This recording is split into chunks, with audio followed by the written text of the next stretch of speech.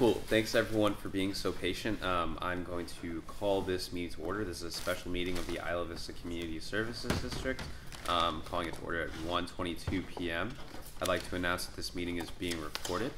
Jonathan, will you call the roll?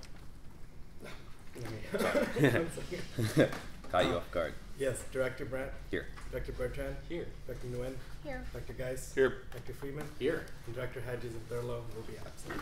Okay. Before we begin, we'd like to acknowledge the Chumash people who are the traditional custodians of this land. We pay our respects to the Chumash elders, past, present, and future, who call this place, Eniscoyo, the land that Isla Vista sits upon, their home. We are proud to continue their tradition of coming together and growing as a community. We thank the Chumash community for their stewardship and support, and we look forward to strengthening our ties as we continue our relationship of mutual respect and understanding. Okay, this is the board retreat, so um, the purpose of this meeting isn't necessarily to take action like we do at regular board meetings, but really just to provide our board, and our staff, an opportunity to um, do some visioning and sort of talk about things from a 30,000 feet level. So thank you so much to the members of the public who are here uh, for participating. We're glad to have you. Um, at this time, we're going to do the public comment period. If there's any uh, matter that a member of the public wishes to speak on that is not on the agenda, um, now is the time when you can speak. Is there any public comment? Okay. Oh, yes. Yeah, I like to address the issue of public notice about special meetings, especially when they're in a different time and place and date. And I would ask that we, I know that legally you've done your job, but I feel that there's a bigger job, and that is to make, um, meetings socially friendly and available to, especially when they're here, because this is a different part of the community with different experiences, and so consider that as well as what's legally required. Is it really fair to tell people that tomorrow we're having a meeting that's, you know, possibly very important, not because you're gonna take action, but because of what you're addressing? So just consider that. Thank you. Okay. Are there any other members of the public who wish to speak? All right. I do. Oh. Yeah, Yes. I, I concur with uh, Maia's remarks. Uh, I feel like uh, the, the noticing is really inadequate, especially the, the only tangible notice I've seen posted was on the window, and I only heard, just heard about it uh, on the window of the office.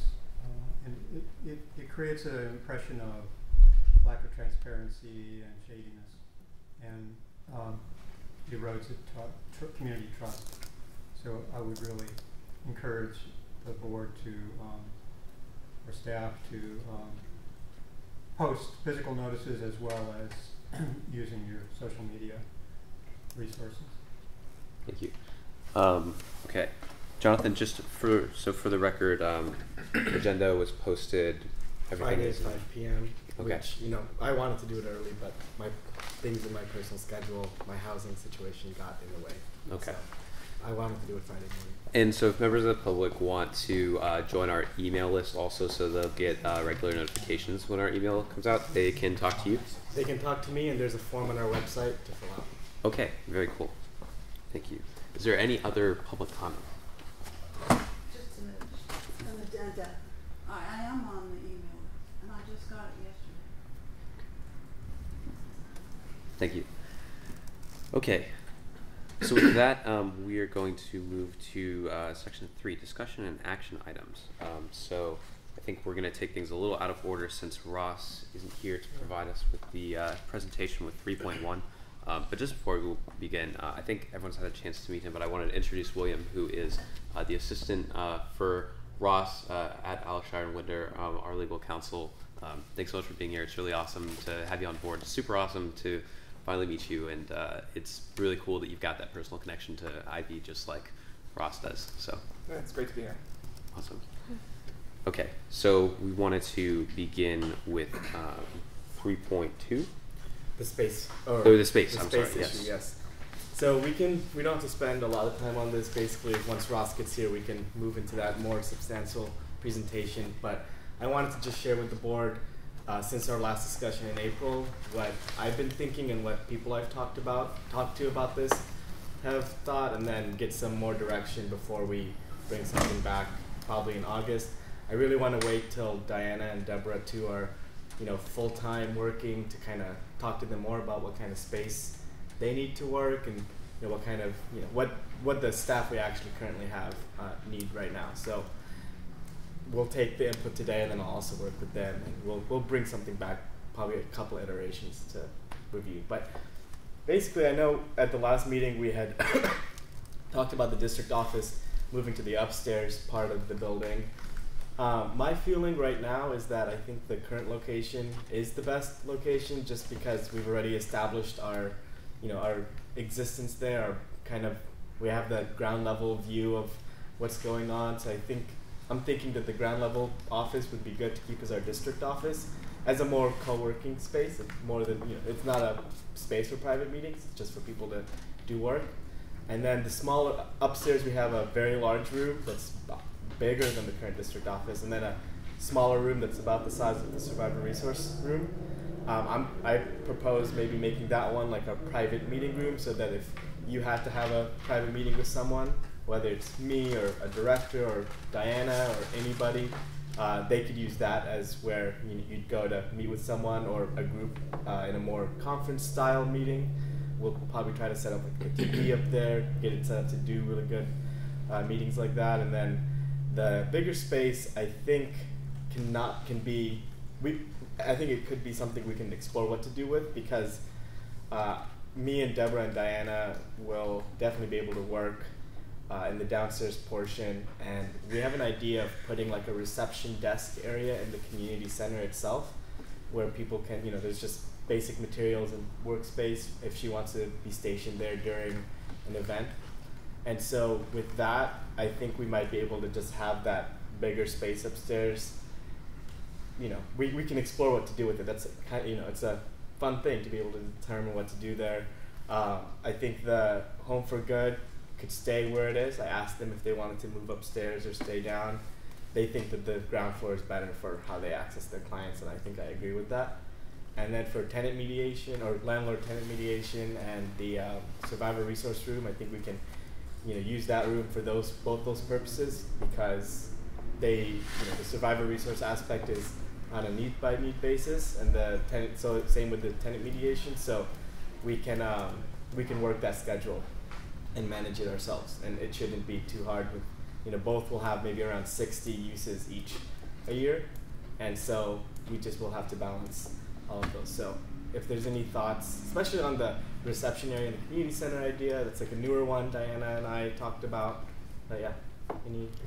You know, I was thinking um, today actually that if we, you know, we have like our, we, we don't have very many closed sessions of the board, but I always kind of was uncomfortable when we did have a closed session at the last meeting and we had to kick everybody out of the room and then they have to go stand around outside and then come back. So, you know, like the board of supervisors, they leave the board, the board of supervisors chamber and meet in a different room. So it occurred to me that upstairs would be kind of a nice place to go for a closed session meeting. Then we can keep the public in the room. We could have more discretion to maybe do a short closed session at the beginning of our meeting, you know, and just take ten minutes maybe if it's a short item. But I was just thinking that kicking everybody out of the room just doesn't seem very good for our public participation. Yeah. Um, I had one question, which was uh, just on the uh, the tenant mediation and uh, survivor resource center, which is I know in the past there was, I think, some desire for exclusivity in that room, and we sort of I think at this time sort of talked about it and said, no, that's not really something that we want to do. We want to keep the options open just because of the volume. Um, but that's do you foresee that being a, a conflict that arises? Not from what I've talked to with STESA so far. Like they're looking to keep it the way it is for the foreseeable future right now. So I don't see them wanting to do anything more than well, on case by case basis. I know that Students Against Sexual Assault has asked us in the past if they could do office hours kinds of things in those in the room, and I think if we did want to accommodate that, we could still do that and like you know restrict it to certain hours of the day where maybe tenant media- mediations might be less you know frequent, and then uh, have the upstairs room also as like an over you know if we need, if there's some day where everything's happening at the same time, we at least have the upstairs room. It's private to do the mediation in if we need to, so it should be okay. Okay. One thing Go that um, Father John and I had talked about a long time ago was the idea of having essentially like rotating service providers in our space. Mhm. Um, and so uh, like we, we've ended up in a position where we've got semi semi permanent uses of our space, such as um, uh, the AmeriCorps also, Yeah. and um, the, the idea that we might have like a, a pop up location for um, a um, uh, something in county public health, for example, that wants to just use the use the office space for a day. Um, Yeah. And maybe Jay has some insight on this, but it seems like in the modern world of business, there's more shared space options where somebody doesn't need, oh, that's my desk, that's my Yeah. workspace, that's where I am. And there's more, in the modern world, there is more shared workspace opportunities where, you know, you might have an intern today and a different intern the next day, and, mm-hmm. you know, i- i- people can, can move around on workspaces as long as they're adequately set up for computer access and all the things they need, so. Mm-hmm. Um, one thing I know you were mentioning the reception area in the community center. I think it's a great idea. Um, we, I think, should check out the space. Have you had a chance to check it out and see if it's something that We're not there yet. I've been Yeah. waiting too. Yeah. I think it's not this coming week, but the week after when Joan and Gina said that we can start going inside. So it'll be one of the first things that Diana and I work on when we get in there is just taking measurements and seeing uh, what's possible in there. Okay. Um, one question I have is, uh, Jonathan, do you need us to, at a future board meeting, get some help for the office furniture assemblage? I already assembled the SRC furniture, or what? Oh, oh, the um, The big the, desk. The big desk. So uh, talking with Bob, he's think we were thinking that uh, we think we should bring the the people back, especially since we might need Yeah. to make modifications to the size and you know the modularity of it. So Boyd seems to know how to put it together and take it Yeah, apart. they take or- it apart really quickly. Yeah, yeah, and they can put it, we- we try to put that back together, we won't be very successful. So, And, uh, so we can get you help on that quickly. Thank you, thank you. And we're me and Guy, the guy who's head of it, we've been going back and forth and just he's sending us drawings of how the desk could look in our office, like different configurations, because it's just big enough. Like our office is almost like perfectly sized, but you know it might block the window or something. So I'm just trying to make sure it fits. Diana said maybe if we can slim it down, that could be the reception in the community center. I was like, I don't know. Well, I showed her the pictures. We will need to see what the size of the space is in there. So. Cool. I think it should it most likely end up in our district office, but if she's thinking like that's perfect for the community center, we'll Yeah. make it work. And if it does end up in the community center, then we certainly also need to get Figure you out, better yeah. furniture in the office. Yeah. Mhm. How, how does, the- this first time I've been in this building, how's the programming in this building work? Um, so the I- YMCA is like they, they manage everything and they, they put on all the programming and there's you know study hours for the students to come in and recreation time and you know it's like a home base for when they do anything else. If they do a field trip, they like meet here. And So it's all students like K through twelve? high or school mainly, yeah, uh, through, through high school? yeah. Okay. And that was one of those things that Jonathan and I have talked about. Um, we met when we met with YMCA a couple of weeks ago. Was doing a board meeting here that is um, sort of gives us an opportunity to hear from a lot of the kids that they serve. Um, just because I mean it is such a cool space, and um, yeah, for the record, huge shout out to the uh, YMCA for letting us use this space. It's awesome. Um, so I like, I like the direction that you're going. I know I think we had had a conversation about maybe moving district office upstairs. Once you brought up that thing that we were talking about, where someone said, "Well, the district office is already there. People are starting to know where it is. Why change it? You know, if it ain't broke, don't fix it," Mhm. kind of thing. And uh, that resonated with me. So I think it's better kept downstairs. All right, well, I'll bring something back once I get a chance to talk to the staff. Okay, very cool. So um, with that, we're going to skip uh, back up to item 3.1 uh, on the agenda. This is a review of Government Code 61250. Um, so thank you, Ross, for joining us and for Sorry, preparing this struggle to get up presentation. Quick No, question: Do you want to do it on the TV with everyone on the couch, or they all have the printed version? Do you need a version to look at? I just need a version to look at, yeah. My computer's phone. Yeah, so if everybody has a copy, I can just use Jonathan's computer. Alright.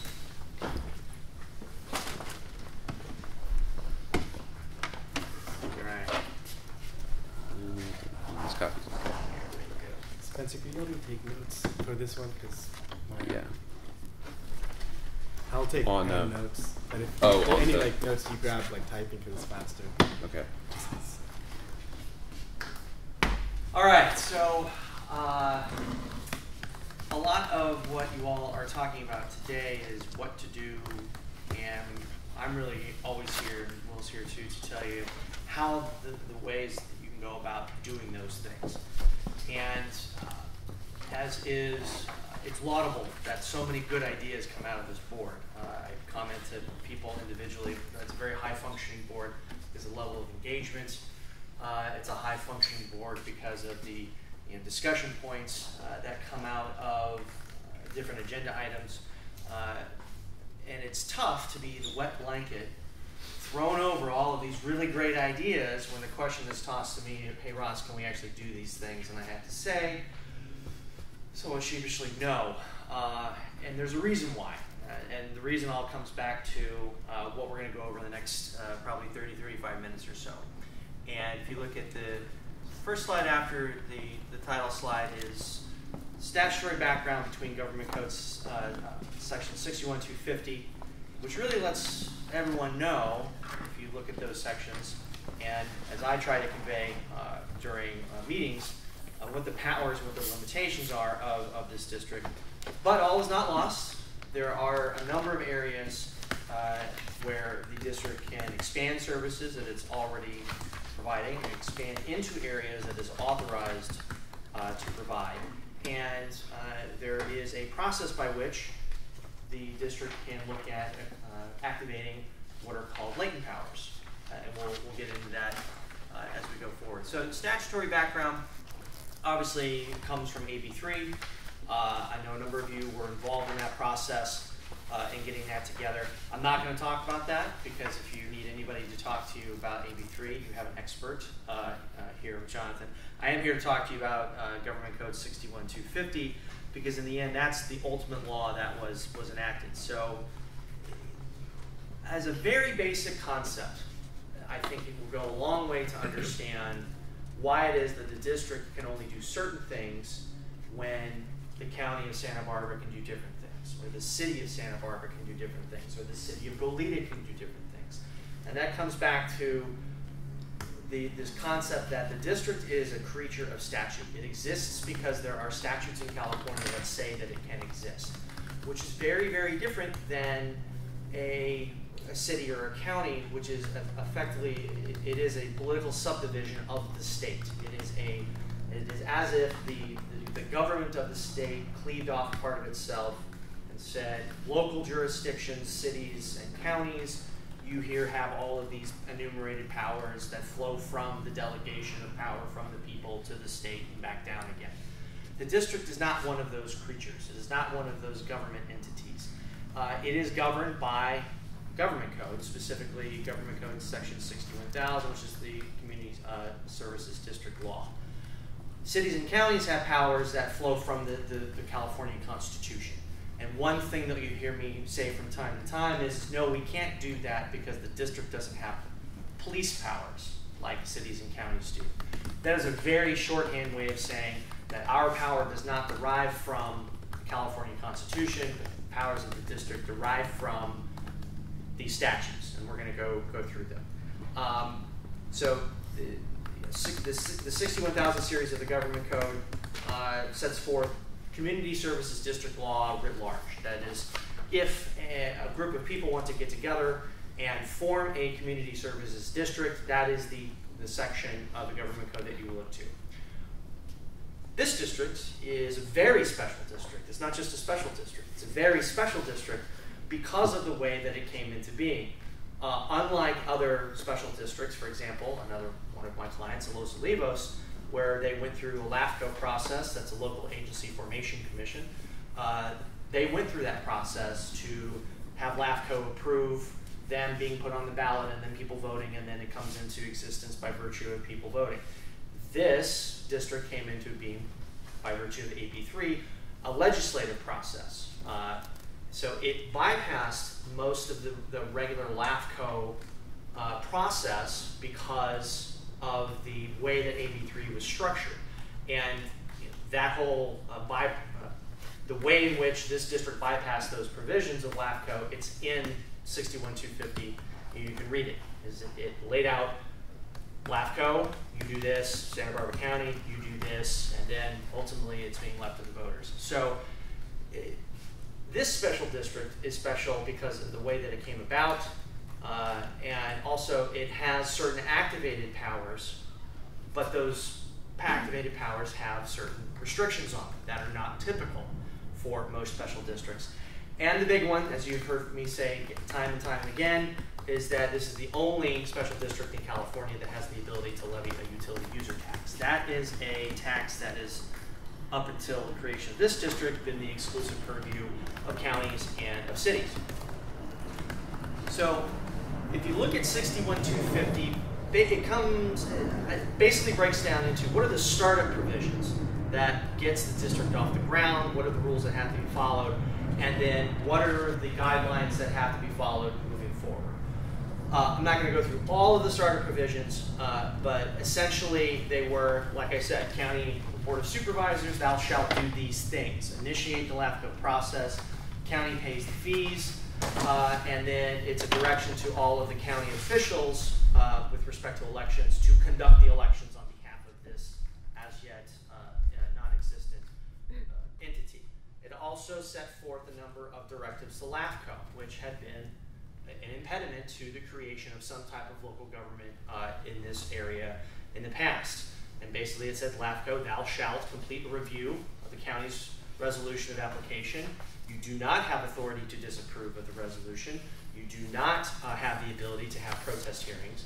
In fact, you must order the formation uh, and the submission of the ballot initiative to uh, the ballot. And you also have to set the initial uh, utilities that uh, to be taxed as well as the rate. So it took a lot of discretion from the LAFCO process, and LAFCOs normally have that discretion uh, to be able to you know, complete these reviews and issue their opinions and guide the development process. But because of the complicated history of this region, AB3 was created to, to really go around uh, a lot of that uh, to guarantee that the people would make the ultimate decision as to whether this district uh, would exist or not. So obviously after that, you have the initial UUT, the utility user tax being submitted with Measure F. You have Measure E, which is the creation of the district, 8% uh, on the utilities, as everyone knows by now. Uh, it was close for Measure F, but it's failed because it needed two-thirds of the vote. So as a result, you had a year of living, living frugally. Um, you did as much as you possibly could with the little funding that you had, the commitments from UCSB with its strings attached, the uh, donations of very generous residents of the district. I'm not just casually pointing this way with my hands because there were people who gave money to the district to help it. Uh, there were people who committed lots of their own personal time. Uh, and in the end, we ended up with Measure R, a success. And now we've got uh, these utilities that are being taxed and we have money coming in. So brief history now where we are. Powers and limitations. Okay, this is the good stuff. This is the meat. All the activated powers are found in 61250. In fact, they're found in 61250D and 61250G. You look, and if you read 61250 carefully, as I know that you all do, have, and will continue to do, you've got subsection D which is the initial tax funding provision. It says the initial tax funding for the district shall go to the following things. Municipal advisory councils, under a different section of the government code, creation of a, a tenant mediation program. You can finance area planning commissions, but can't create your own land use regulations. You have to still follow what the county has, but you can be able to have an area planning commission for more targeted uh, discussion of what land use development should look like within the confines of the district. You can also exercise the powers of the parking district, which is to say that this community services district gets to put on a different hat and act like it's a parking district under the parking district uh, uh, rules. And that's found in a completely different section of state law. It's in the Streets and Highways codes. If you're looking for something to read late at night and can't manage to find a way to fall asleep naturally, uh, Streets and Highways Code 35,100 sets forth what the parking uh, district law is. And I think it dates back to the 1920s, 1921, I think is what it is. So, real recent stuff. Um, contract for additional, and I put that this in parentheses and in quotes, supplemental police services. because We're going to come back to that. Uh, from either the county or the UCs, and also uh, acquire, construct, improve, maintain, etc. Uh, community facilities like uh, libraries, theaters, museums, etc. All of that's set forth in D1. First thing is it says the initial tax shall be used for these things. Well, okay. So what? Uh, I also forgot uh, improving sidewalks, lighting, and gutters, and also abating graffiti. Well, the reason why there's a so what, or why you should be wondering about this, is because subsection G says that when the district is created, it shall have these activated powers. Some of these you'll see from the previous slide. Tenant mediation program, exercising powers of a parking district, contracting for additional, supplemental, public safety services with county of the UCs. But now you have the first measure mention of the UUT. Again, that's unique. And then also you have this uh, maintaining sidewalks, lighting, gutters, etc. And then supplemental code enforcement services. Well, that's a new thing too. That wasn't in D1. So, hold up, you may be saying to yourself, Mr. Smarty Pants lawyer. Those lists don't match. If you look at what D1 and G, and you hold them up to each other, you'll say, okay, things overlap, like tenant mediation, exercising powers of a parking district, contracting for additional uh, police services with the county or the UCs, and also acquiring, constructing, improving, maintaining sidewalks, lighting, gutters, and trees. That's found in D1 and in G. But when you look at it again, you also notice that MACs, municipal advisory councils, are only in D1. Area planning commissions are only in D1. Community facilities, operating, maintaining, constructing, etc., is only in D1. And graffiti abatement is only in D1. And then you look and go code enforcement's only in G. So, what gives? Well, it's my opinion that that is the full scope of the activated powers of the district. Just because some happen to be in D1, also happen to be in G, and at least one that's in G does, does not show up in D1, and a couple in the D1 don't show up in G. You don't have contingent activated powers under community services di- district law. You either have a power is activated, or you have it, it's latent, which means it hasn't been activated. Uh, it's out there. So, initial tax sounds like it can only be used when it's this part, and, and what about over here? No, activated powers. It's my counsel, as your lawyer, is my position that the activated powers of the Isla Vista Community Services District are those as enumerated in D1 and in G. Because you don't have uh, contingent activated powers, um, that has to be true. Also, when you look at it from a legislative intent standpoint, creators of AB one of AB three, the whole intention was to instruct LAFCO exactly what it had to do. So the reason why you have this carve out of initial tax powers, it's to instruct LAFCO on how to do its job.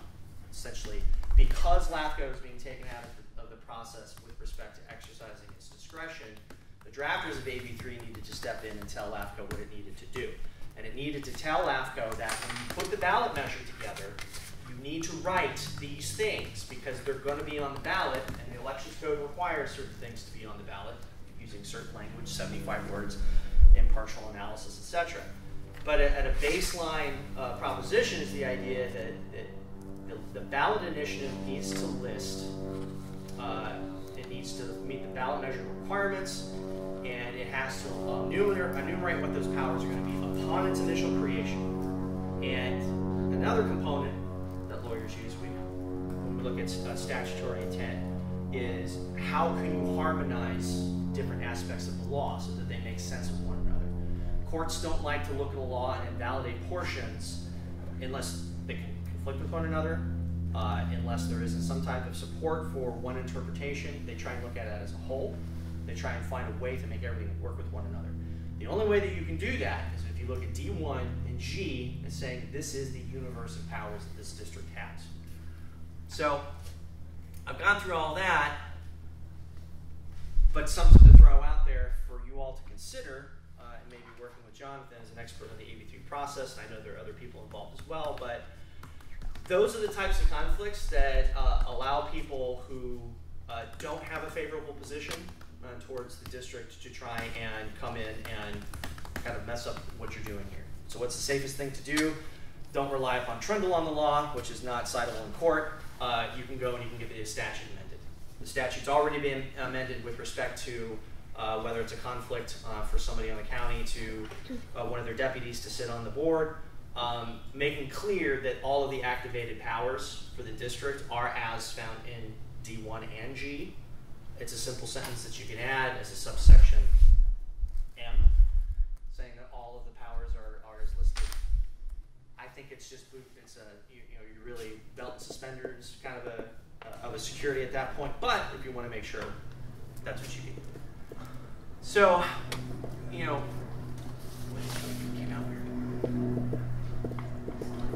Okay, so I've, I, I've given you my assessment on what are the powers. There are the powers that's listed in D1 and then the powers listed in G. That's the most holistic uh, approach. Jake. Until the end of the presentation before we make any comments on anything, or if, like, if I've got something I want to? Let's let's keep it to clarifying questions for now, and then we can do comments after he's done the presentation. Sure. Okay. All right. Um, I want to make a one quick note. If you look in your, I think this is the maybe the ninth slide. It's on the one that says "Hold up." Those don't li- that, that list doesn't match this other one. And it says a quick note on actions necessary and proper. There is a tendency by people to look at the list of powers and says, well, if it's not in this list of powers, then we can't do it. It's understandable why you might think that. But the list is not exhaustive.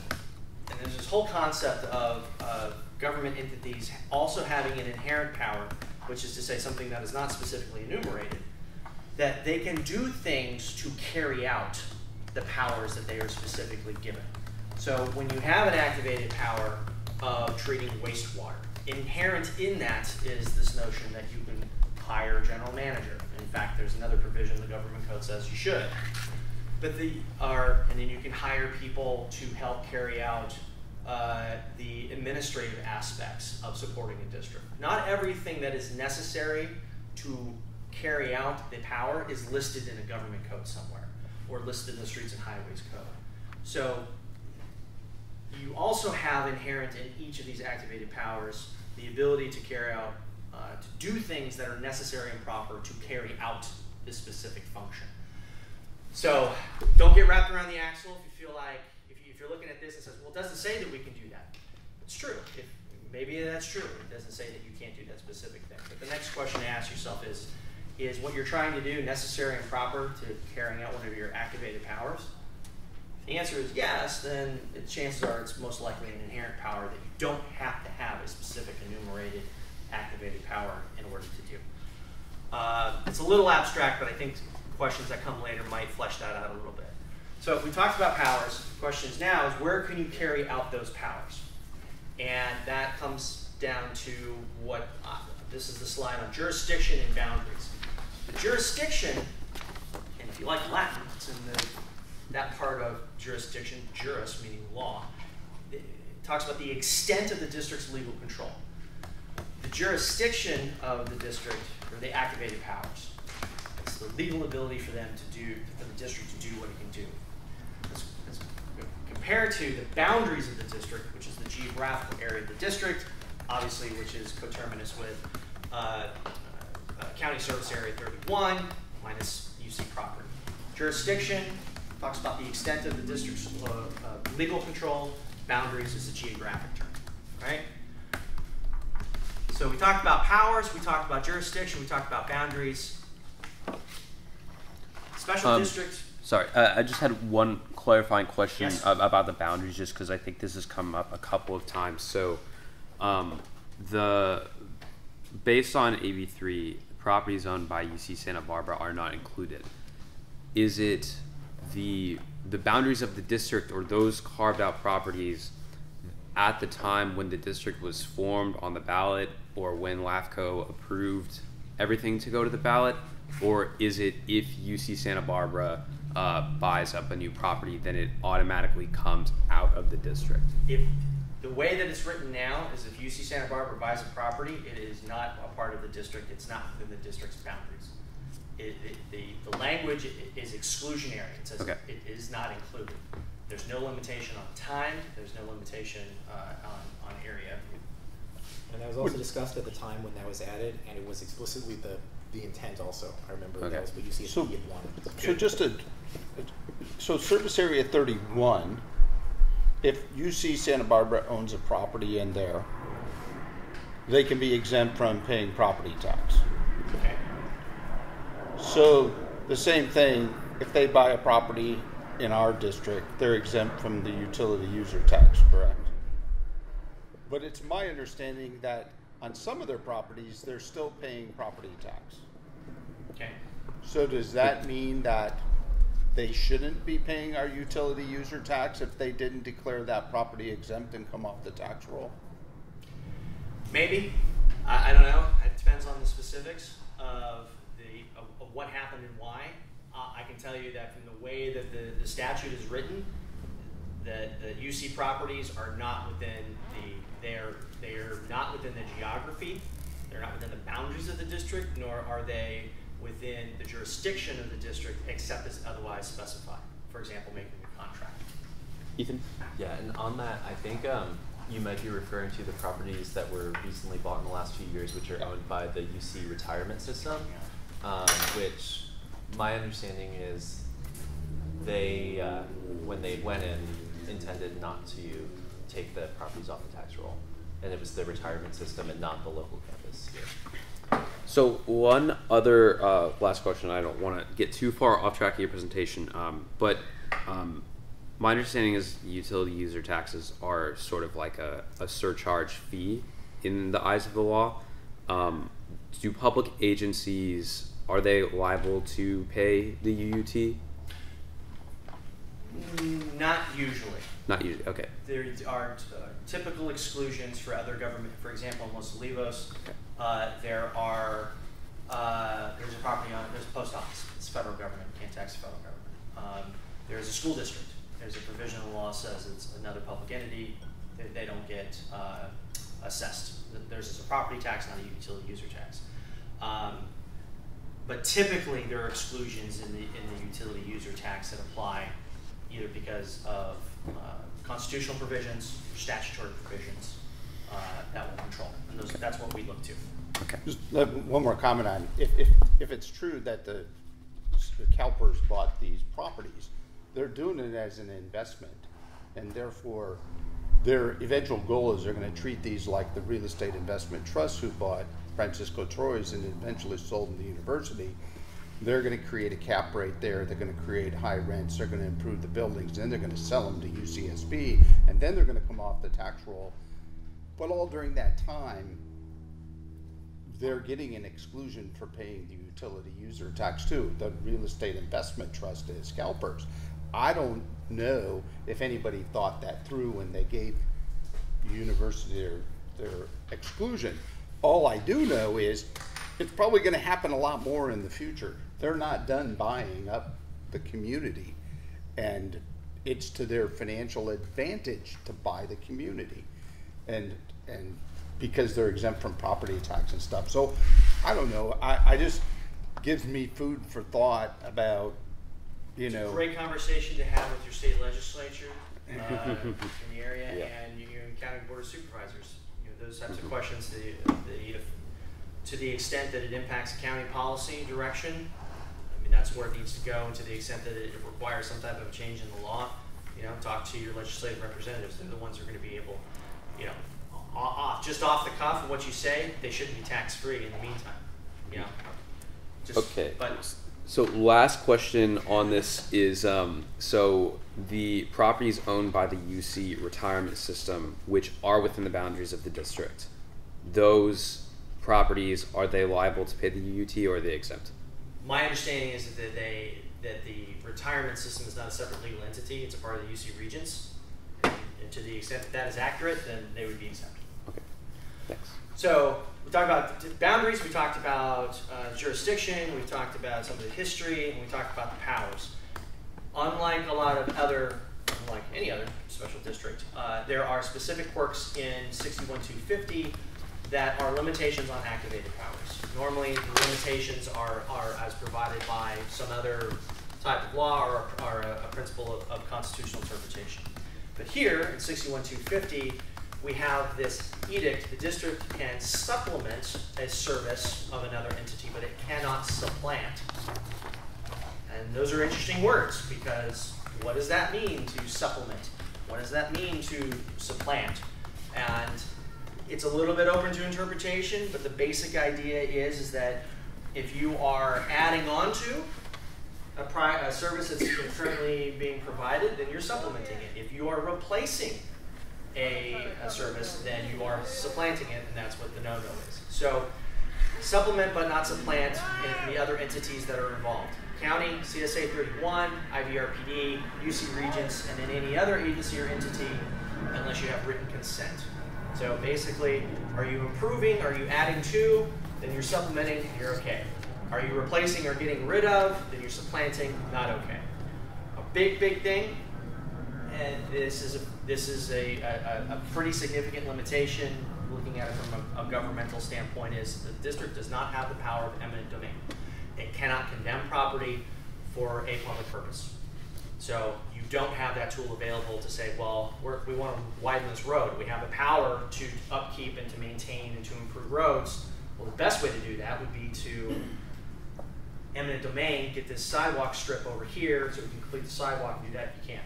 You just don't have that power, so you got to get more creative in trying to come up with these these goals and how you're going to go about uh, doing. it. Obviously, we talked about taxation, UUT. Thing I want to point out here is that taxation via UUT is the only funding mechanism. Other than the pledge from UCSB, you don't have the ability to go and get property tax revenue. Uh, that would, appears to be a conscious decision that was made in putting AB3 together. Um, you know, part of the horse trading that was involved, I guess. But at least it's written the way that I read it. The sole funding mechanism for the district is the UUT, which is why Measure R was so important. One question on that is um, so let's say uh, in, in a hypothetical scenario, um, something like County Service Area 31. If we went through a process and the two, we were consolidated with CSA 31, it receives a portion of the property taxes. It also has a benefit assessment. Would those then become sources of our revenue? What I would argue is, is that the consolidation process would have to take into account the fact that CSA 31 is funded by property taxes and that there would need to be a reconciliation between the strict language in 61250 and the reality of CSA 31, which is a, a, a dependent special district. So it, in the reconciliation process, you'd have to be able to have a mechanism by which any of those property taxes that would flow to CSA 31 normally would instead come to Can you explain that again, that, that restriction in sixty-one two fifty? 61250. The, the sole funding mechanism for the Yeah. district in terms of taxation is the UUT. That, that at least was not the intent. Uh, and that is, I mean, like when we were talking about getting this set up, and I had a lot of conversations ourselves, the idea that we would be able to at some point in the future potentially go and get a property tax. Not that we had any particular timeline or, the, or reason why, but that was like an explicit thing that had been discussed is, is that we'd be able to go and get other forms of taxes.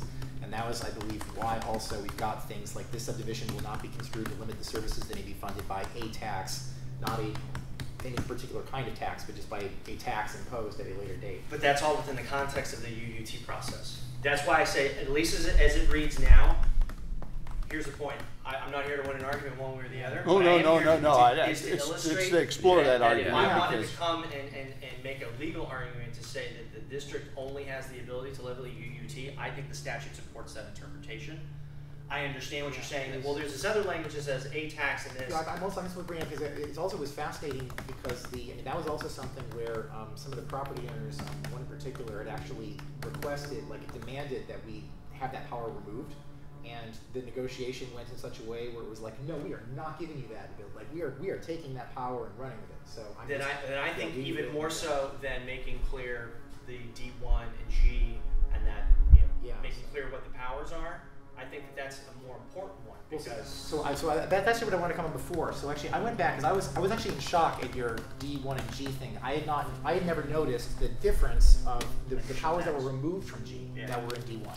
And the reason why, and so I've been sitting here, I've been going through the history of the text, and um, there were there were some changes that were made while annoyingly, it was like after a lot of the public sign off. I remember specifically, I was in um, Seattle and like frantically receiving and managing phone calls while like down downstairs the Space Needle with Darcel, being like, no, no, no, you can't change that. You got to change that. You can't change this. But they, the text used to say. The district shall have all the powers listed in section 61100 except those powers specified in E and F.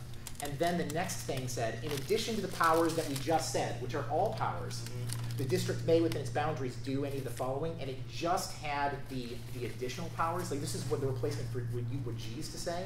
And then the the Darcel was messing with the text for the the um, the re- restriction on the E and F powers, the the park district powers, and decided we should elevate that to its own special um, section and struck the thing. I, I, this has got to be on accident. Struck the thing that said all the powers listed in 61100 to move that to a later thing because it was, it was like it was like a reference, right? Like that got moved to its own section, and then the in addition to the powers there, it's like I'm just like. I I remember the intent of all of this. I remember dealing with all the lawyers who were dealing with all of this, and I remember the process, like the, the days on which this got moved. And this is this has got to be a mistake. Like the, the goal in G was to have all of the, the powers that we had. So I don't know. may- I, I feel like we, we could go and get this fixed um, with relatively minimal conflict at the state level, since we can show the. Like I mean, I, it's still available. Like I can see the history of all the steps and like actually watch it Yeah. accidentally get removed. Yeah, and, and, and as, a, as a quick side note into how this would play out in court, we would have to say first that the plain language of the statute is clear. It says what it says.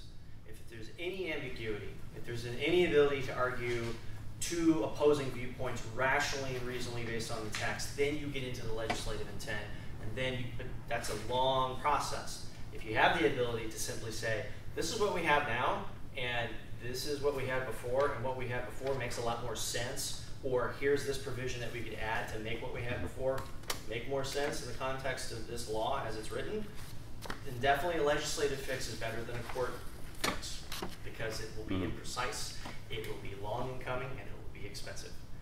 So hit up your, your representatives and have them make that change because, again, just my, my observation in reading the law and you know 16 years of being a lawyer, doing this kind of a thing, uh, I read it as the, the UUT is the only way to fund the district. Obviously, you have a commitment from UCSB with its strings, but that the taxing power is limited to the UUT. And if there's any history that suggests that the UUT is to be an additional power, then I think the provision in the law that says that it has the power uh, to tax as set forth in 61,000, right, the CSD law, that would be really, really helpful to making that argument. But, but I'd be, you know, the whole point of forming a community services district was in the absence of, you know, it's a, it's a viable entity for this to have a representative government. And typically, a community service district precedes a city. So they're usually formed and then cities get formed afterwards. Buellton was a community services district that turned into a city. Yeah, I don't, I don't think that that evolution holds as much now. I would say within the past, at least since 2000, because that's when the the the special districts really came under a lot of scrutiny. Uh, in in Inland Empire, where I live and where I work, we had two cities, one of 65, 67,000, and another one of almost 100,000 people.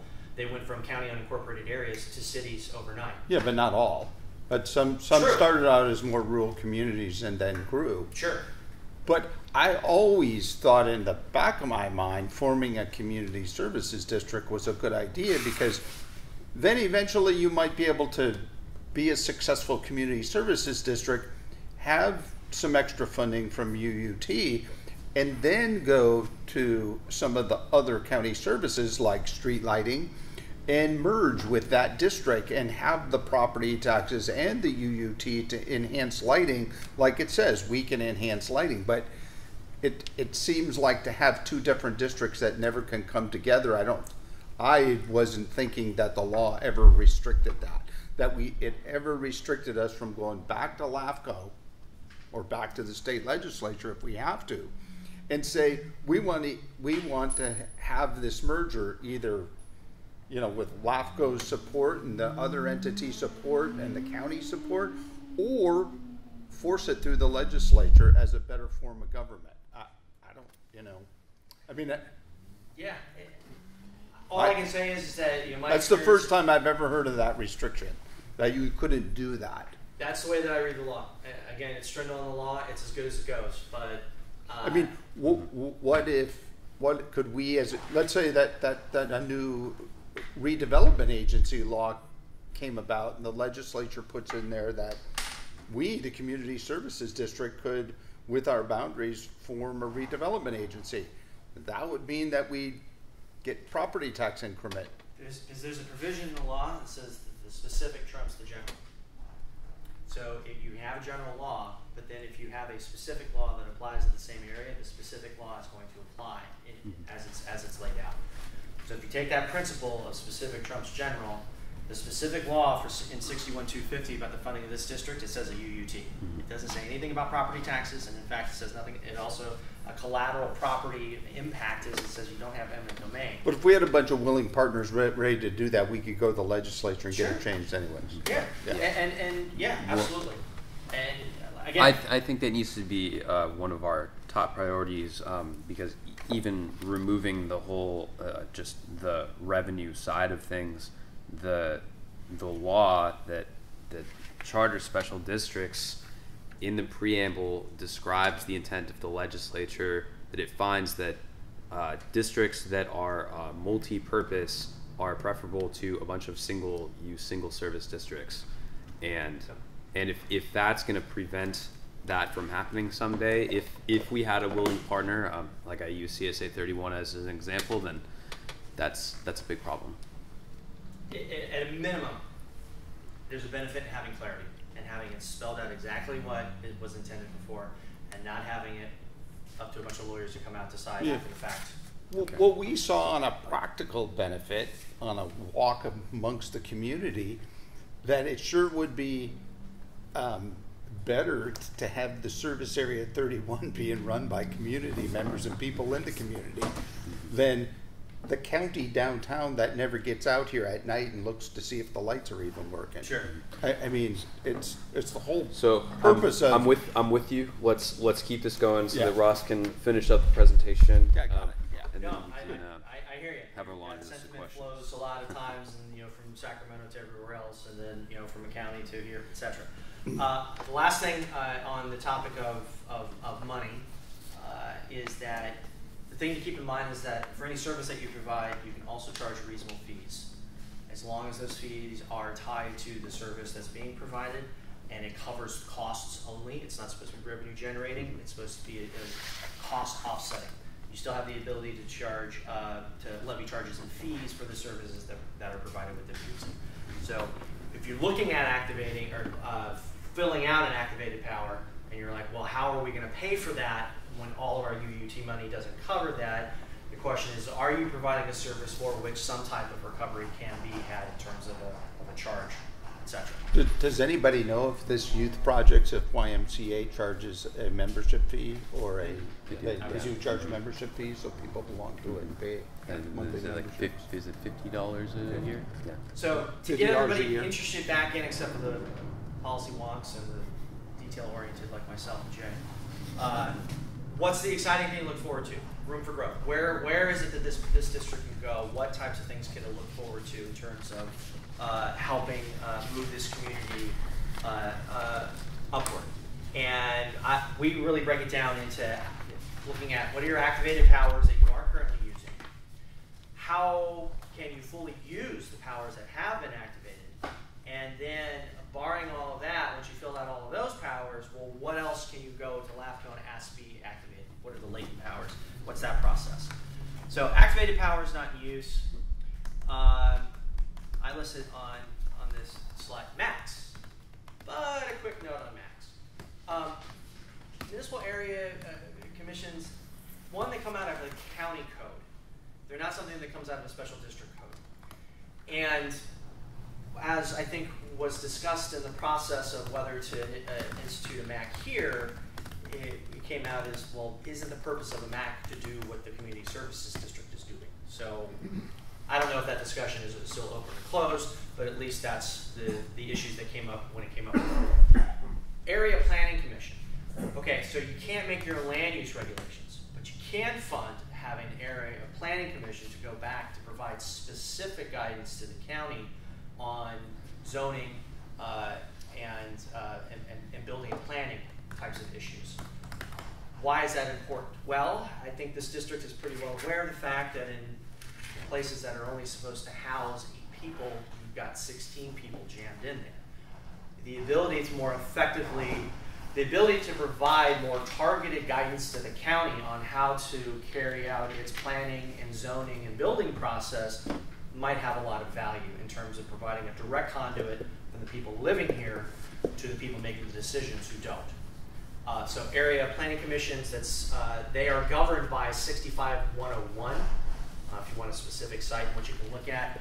Again, the limit there is that you have to work with the county on the areas and how it's all going to be carried out. Ross, one quick question Sure. on that. So it's uh, work with the county on area and powers. So um, do different area planning commissions they're granted different powers or Yeah, it's, it's kind powers? of like the neighborhood council system in Los Angeles. I think that's the easiest way. Uh, the lo- those local councils don't have any more power except what's been delegated to them. Mhm. But what they're really doing is to try and make sure that all of the issues for that geographical Mhm. area are being are being collected, being gathered up, Okay. people are being heard, and then those are packaged and sent up to the district office for the, the council member. But no area planning commission is like the same because they It- rely will on reflect having- each, each community that Okay. they are they are set up to uh, provide oversight Okay. for. Okay. Um, unlike an area planning commission where you've got to work with the county on the areas and the powers and etc. the parking district, you, you are effectively, as a community services district, also a parking district.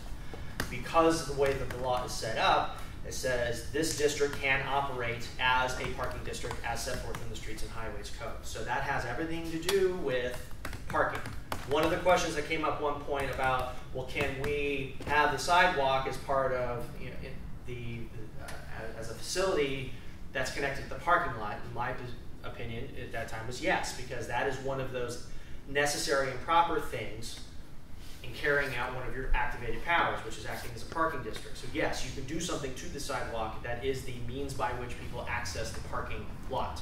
That this is all hypothetical at the time, but you know those are the types of uh, uh, necessary and proper ancillary uh, or inherent powers that come along with that. But uh, as a parking district, you create, implement, enforce parking restrictions. Uh, you can also create improvements to support parking within the boundaries of the district. That's a pretty big deal uh, in this area where you can't park on the street uh, for 10 months out of the year. Uh, how that is all implemented, it's all set forth in the parking district law. Uh, there's a lot of power that's in there that hasn't been touched. Uh, code enforcement. Uh, a key term here is it is a supplement. Do you know if the, is the parking district law progressive or is it just old? It's old. It's old. It's old. It's like almost 100 years old.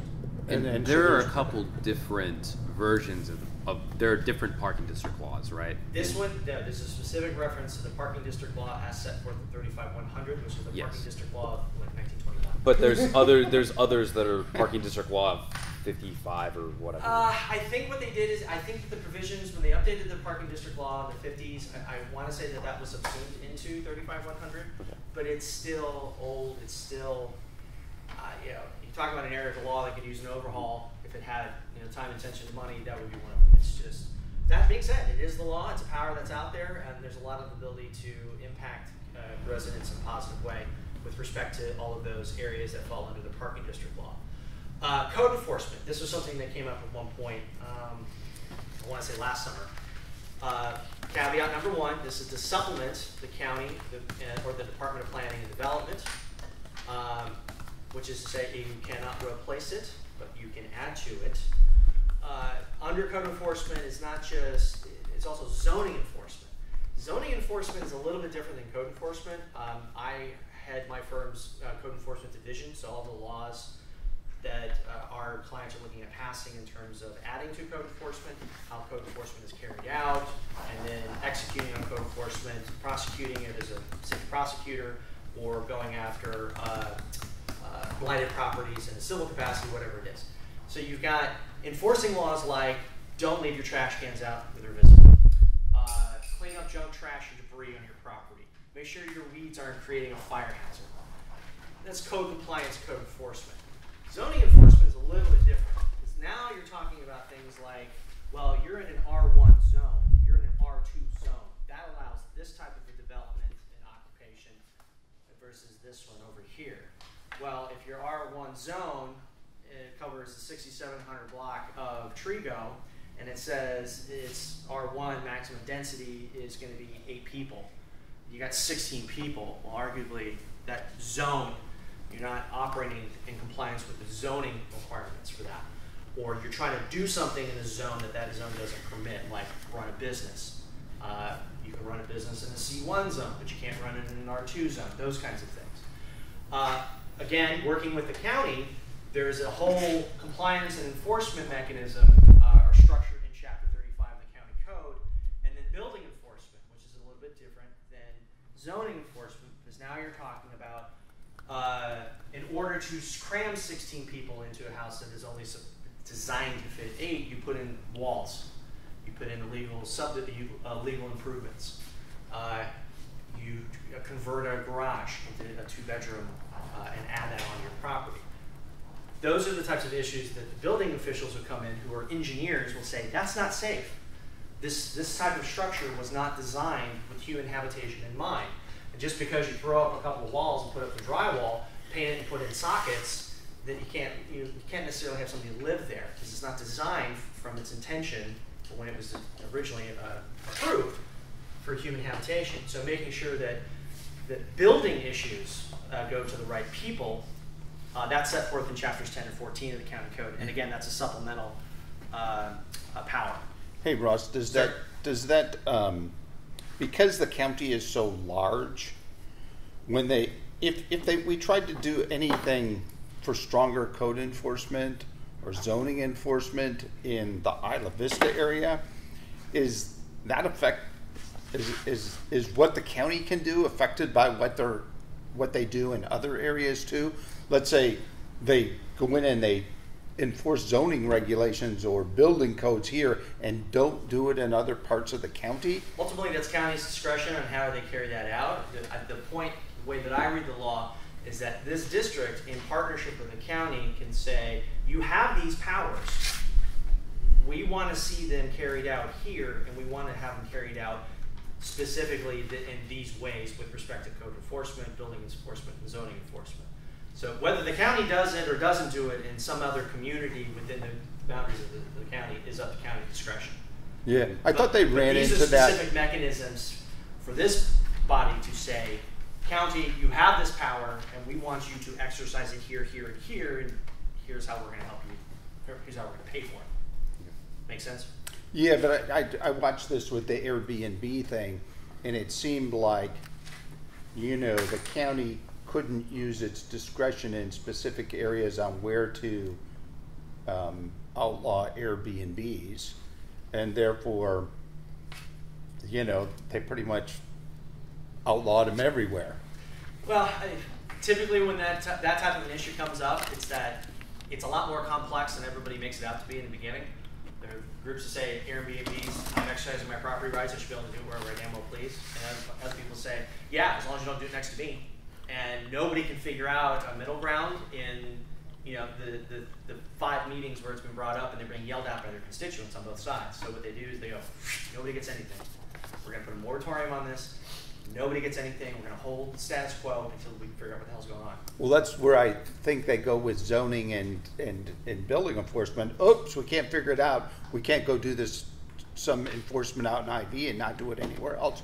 No different than growing pot. Well, You know, no different than. And that's going to be the part of the process of Yeah. deciding, you know, how about how to go about using these enumerated powers in partnership with the county. Uh, yeah, and, and a similar type of a situation may come up with respect to community facilities, which is the next slide, full use of activated powers.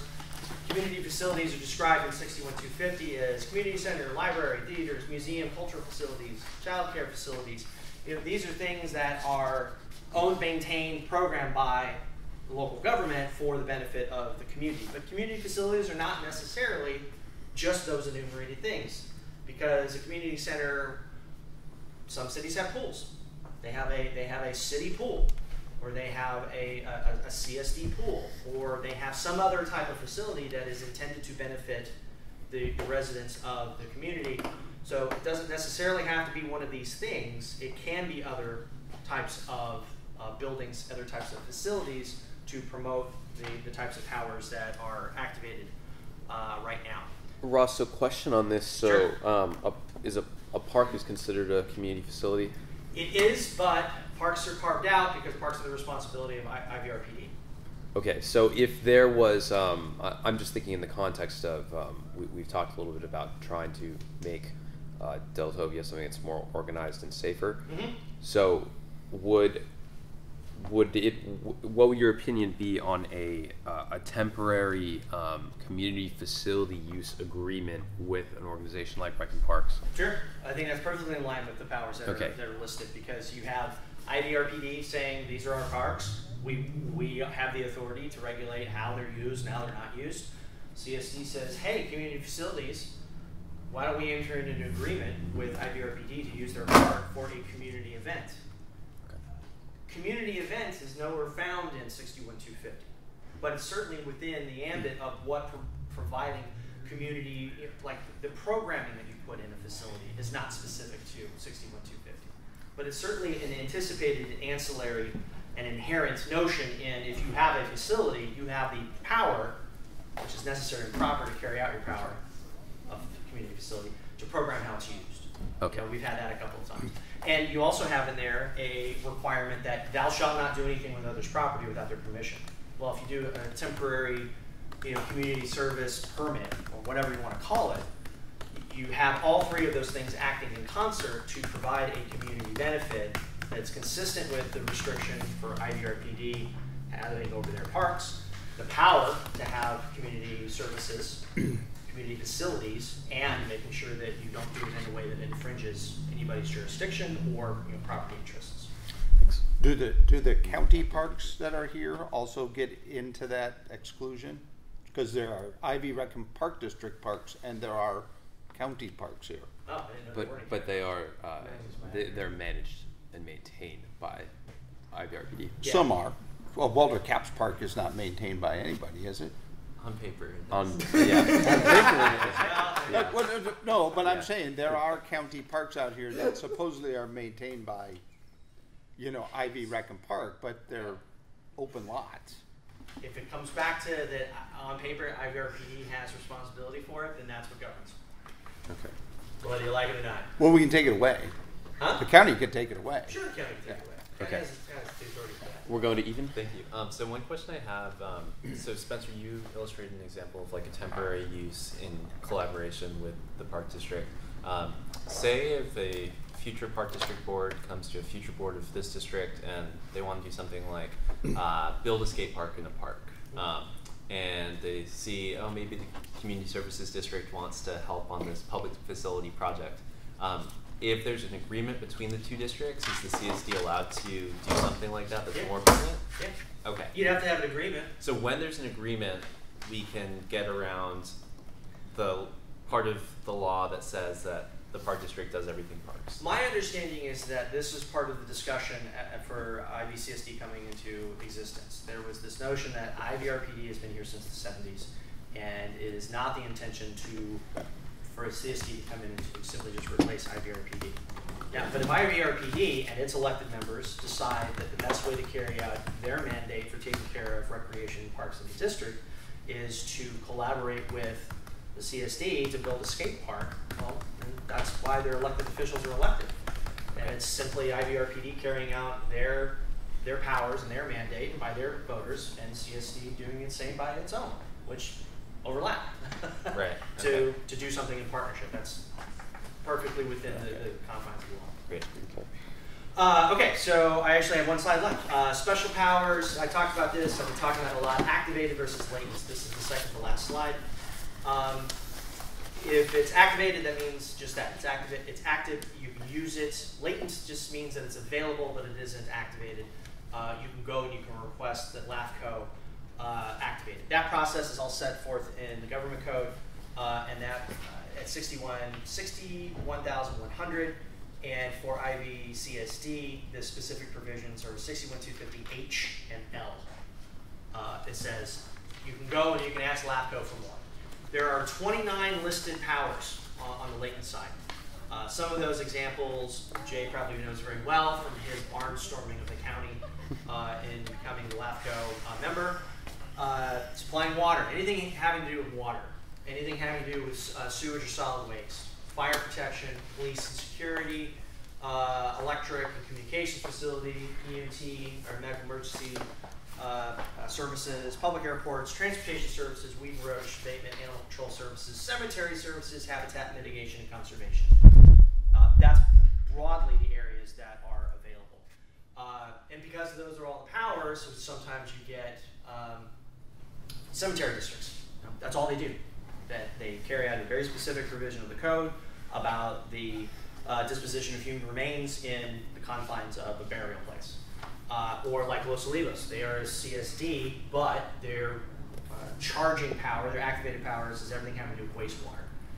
Uh, I've got another uh, special district that's actually it's an irrigation district, which has its own little you know special carve out in the water code. So special districts can do one thing, or it can do a lot of different things, and essentially be a city in the number of services that it, it provides.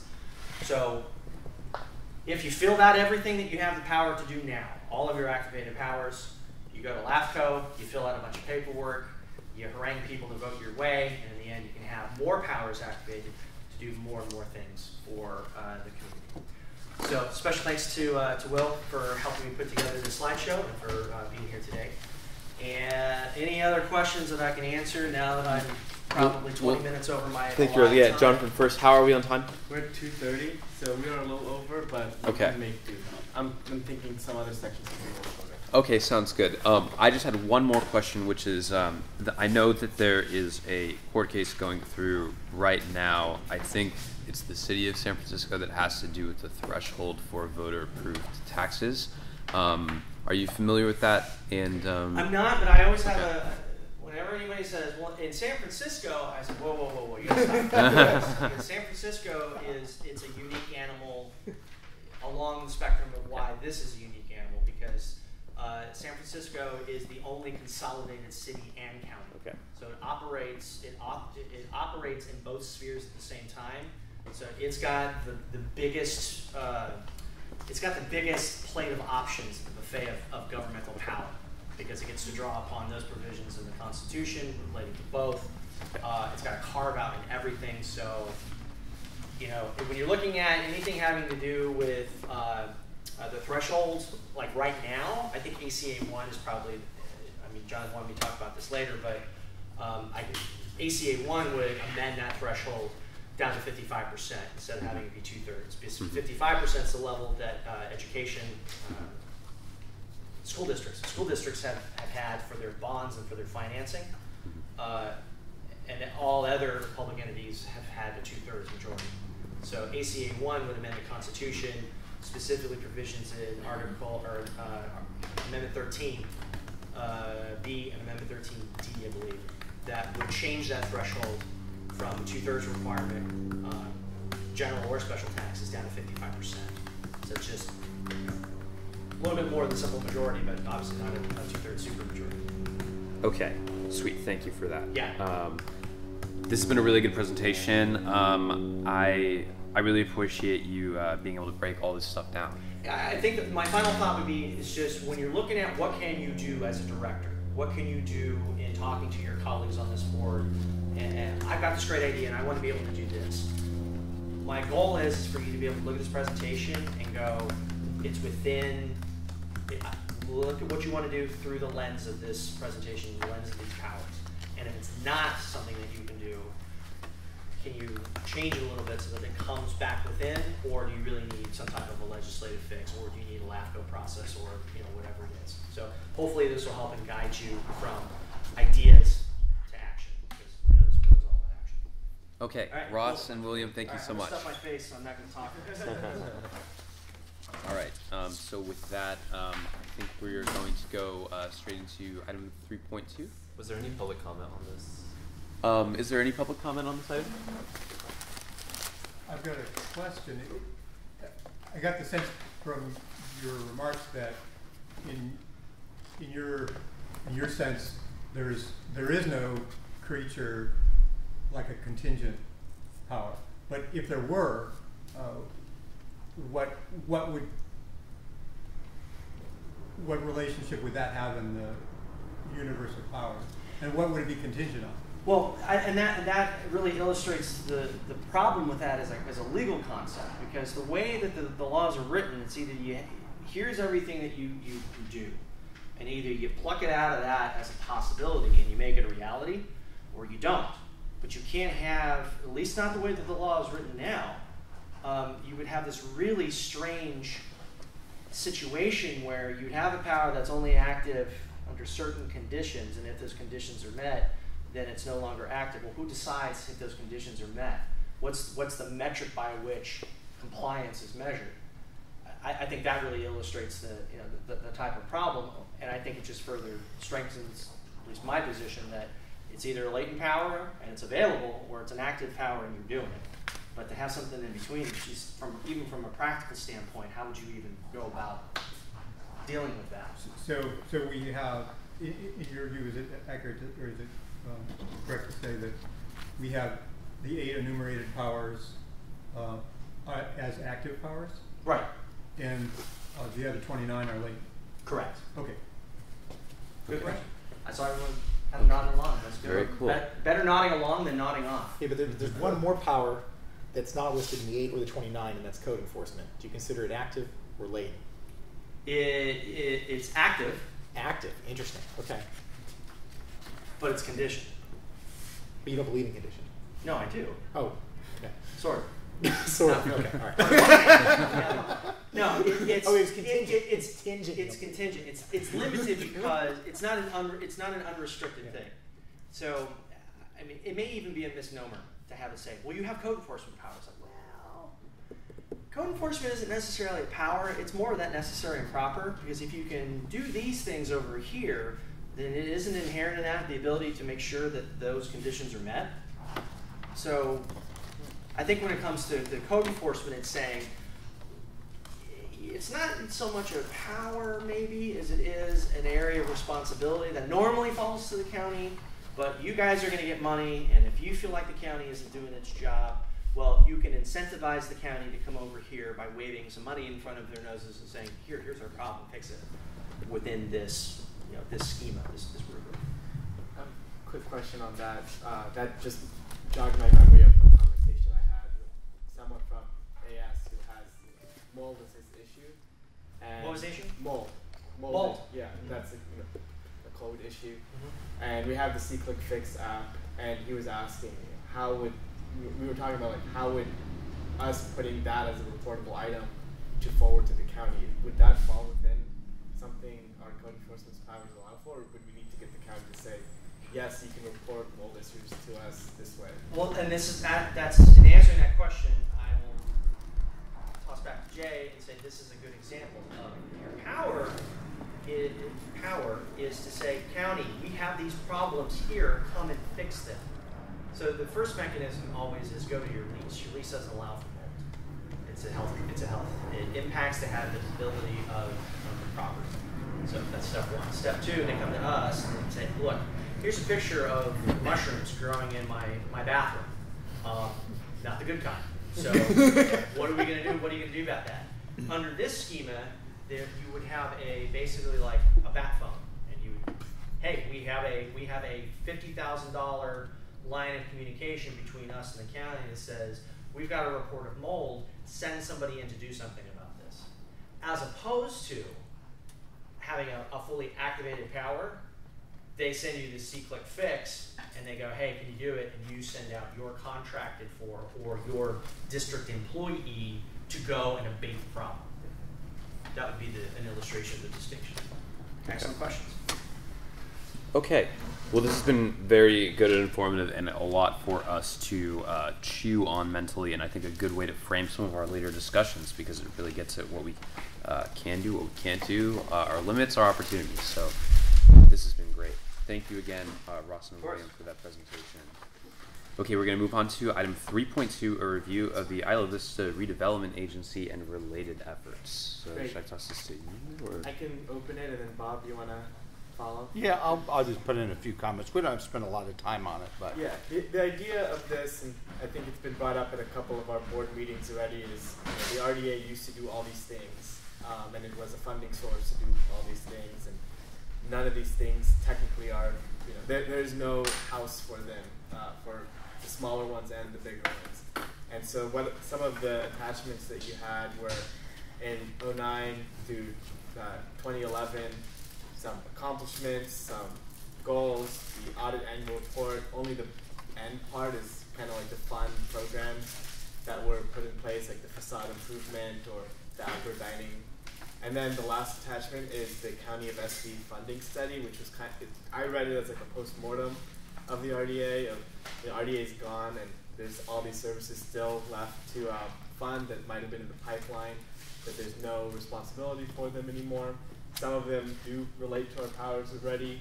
Some of them don't.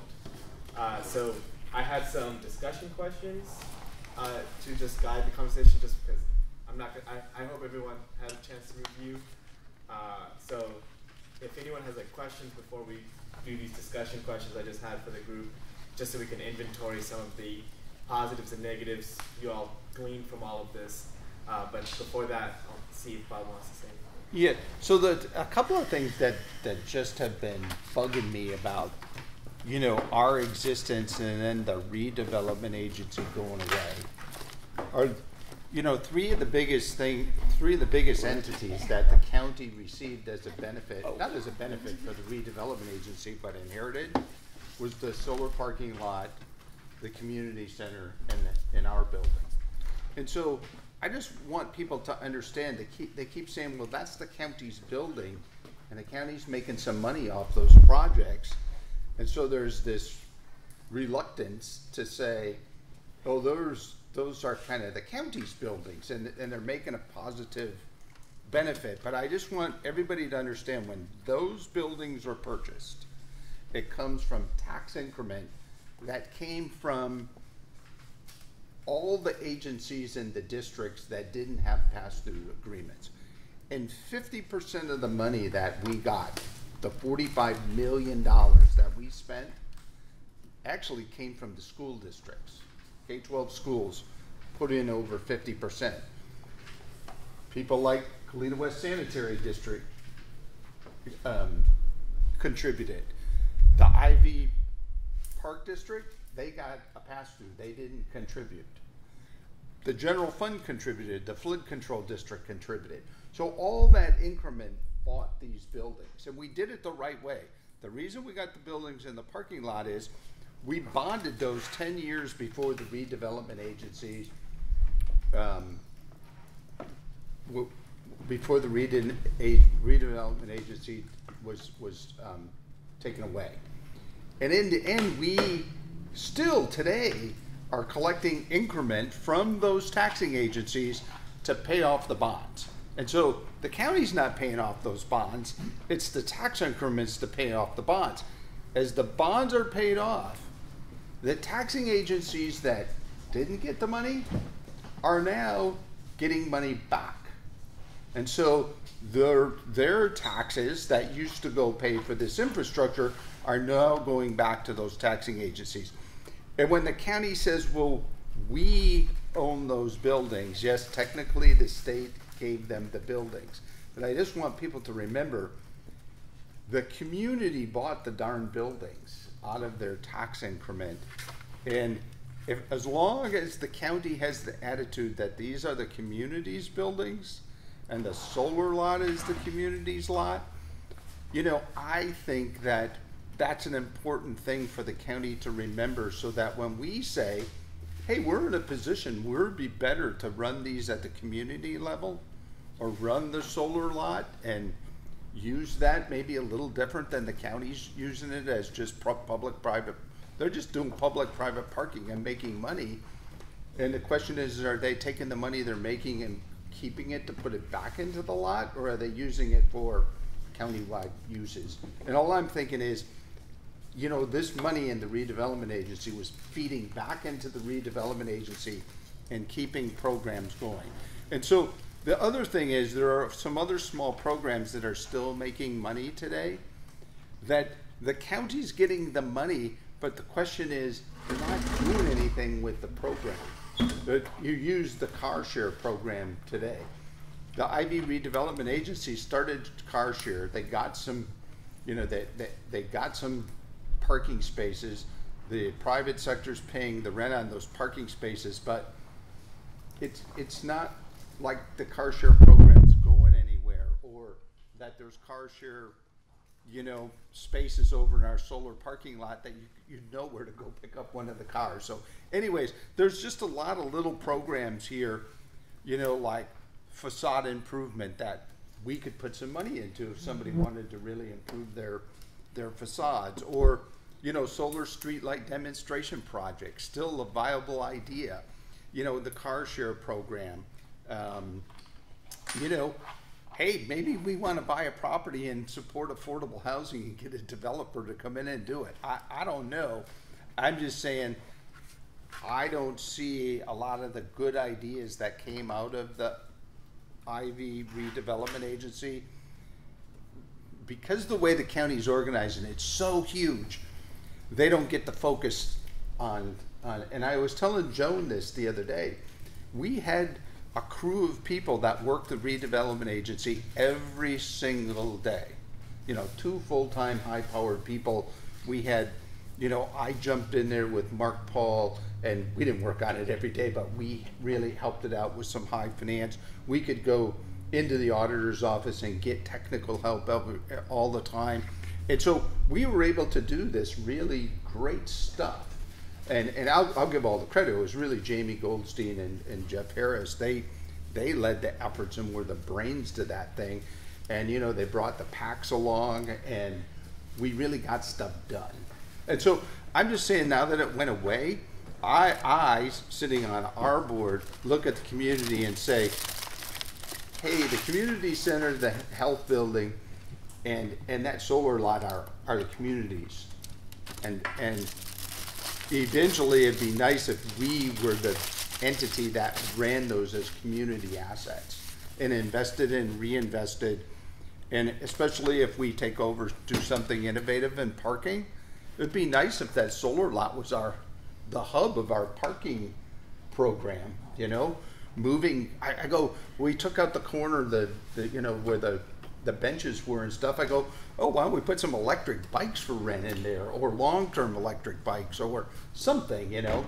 Anyways, that's all I got to say about redevelopment of, it, it, you know, Joan was saying, hey, why don't you guys do something like Los Alamos and bring the business community along?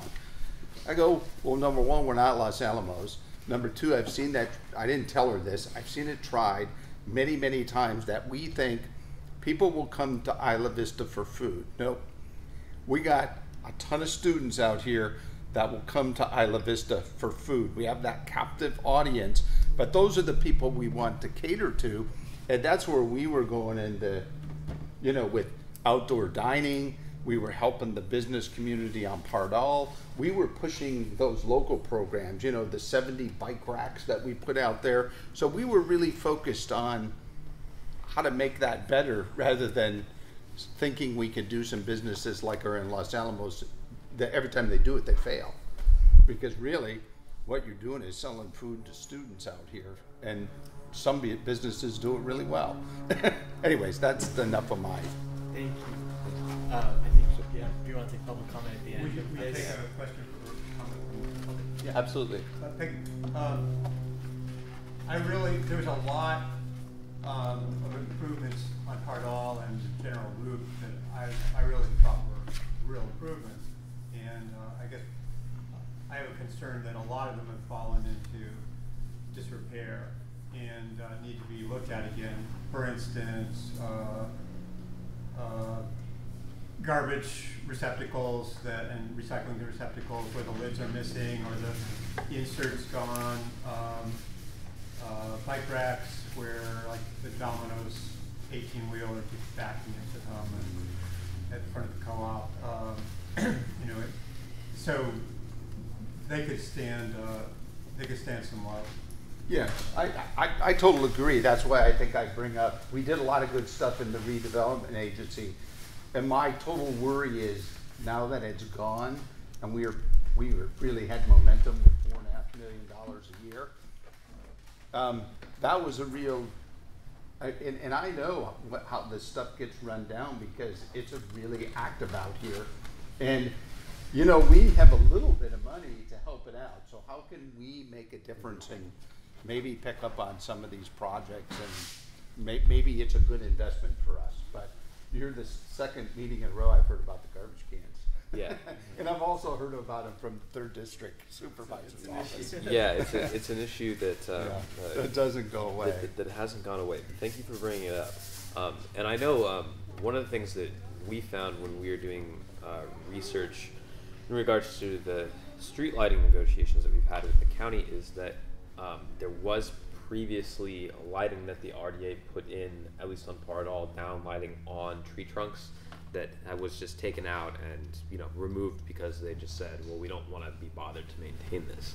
And so that's one of those things where it just really goes to show the the benefit that you know a, a local agency would have at being able to make sure that those things are kept up and maintained rather than just you know getting along to go along and going through the motions which kind of feels like is the county's attitude with a lot of things So, a couple questions for the group. So, in, in all these materials, did anything else stand out to anybody in terms of you know great idea that should continue?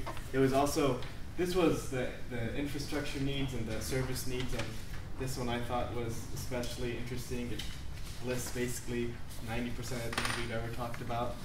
Uh, but anything stand out to anybody? Well, one thing I thought about is um, so I now know that County Public Works has this program which um, is kind of not advertised too much, but they do some cool work where they offer residents in the unincorporated area a chance to improve the sidewalk in front of their house, where the resident pays or homeowner, property owner pays half, and County Public Works pays half. I'm Not sure if that's something we've ever thought about here in terms of our sidewalks. If we had property owners who don't have sidewalks in front of their houses um, that want them there, and we do some cost sharing. That was one thing I thought about just in terms of infrastructure improvements. They have this same program on street trees. So they'll come Yeah. out, if they take out your tree, they, if you pay half, they pay half, they'll put in a new street tree. I had a question on uh, one of the things I noticed in, um, I think it's the audit of the RDA, which is the, uh, what's it called, Isla Vista Housing Fund. Um, I guess my question is just uh, like an overview exactly of how that how that worked. So twenty percent of all the tax increment, at one point it was 25, 20 or twenty-five, uh, we varied it. Of all the tax increment, let's say at the current level it was four and a half million, 25% of that or twenty percent of it was going to the house, affordable housing fund. And that is how we built, um, what's the, Pescadero law. Pescadero Lofts.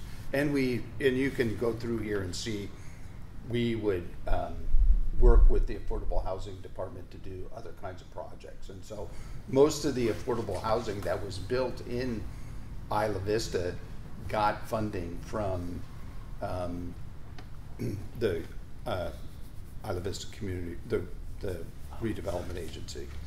And so that source of doing affordable housing out here also dried up, so. Well, and it seems like if the redevelopment agencies are going to get brought back, affordable housing is going to be uh, an even bigger part of uh, Pro- of probably. that law, just given the uh, the situation that we have here now. Jake. One thing that's, uh, it's come up at a, a few of our meetings, the, the idea of, of either being supportive of new redevelopment agencies or, or things like that. And what, one thing that I, I, I, I want to make certain everyone has seen in, in the materials, the master plan was one of the things that Jonathan threw in our pile of things, right? So you look at the box, and this is a subtle thing, is why I bring it up, because the, you look at Isla Vista, and Isla Vista is this box. But the redevelopment project area was this box plus this red box up Yeah. here. Mm-hmm. And that red box on the Isla Vista master plan map has almost nothing in it. But if you were to look, you know, um, nowadays it's filled with houses, and that was all housing that was built when I was a student between 1999 and 2002. And the um, that that I and, and be- because it was specifically the timing of that, I, I happen to know that the, the houses there cost were, when they were first put up were being sold at about three hundred thousand dollars a house, and now I believe they're worth over a million dollars a house. And so a very large amount of our property tax increment was from this area that actually is now in the city of Goleta, and is not yeah, something that we would not really get again if we were to try to construct a new RDA.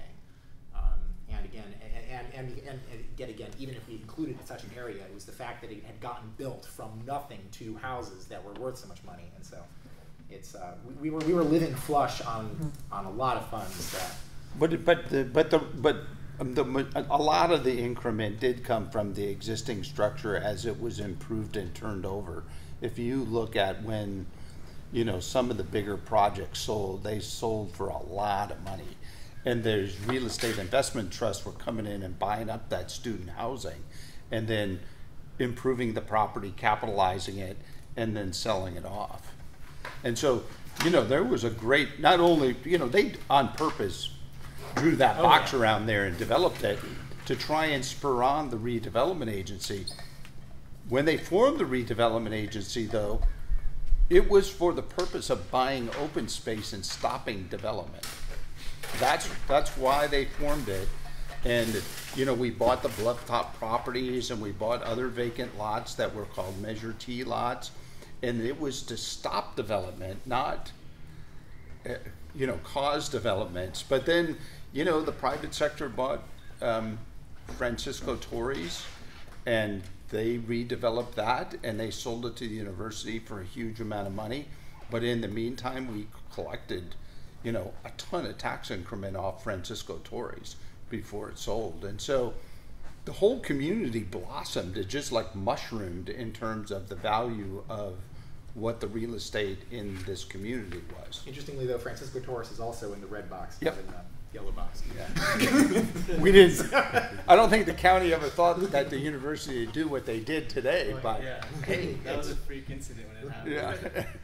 Okay, so well, it seems like uh, we've got some good takeaways from this uh, that are over here. I, I just Um, think if, if you're a board member and you go back and say, well, how can you, are there things, just keep these lists kind of handy and say, oh, what, what, what would we want to embark on any of these things to, you know, continue to make Pardall better or listen to the community?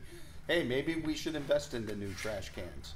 And, you know, that's part of our beautification project and maybe we can put better trash cans in that are more manageable or, what was the guy's idea that came in and we put the beer cr- can crusher in there? Oh, yeah. It's a fun thing.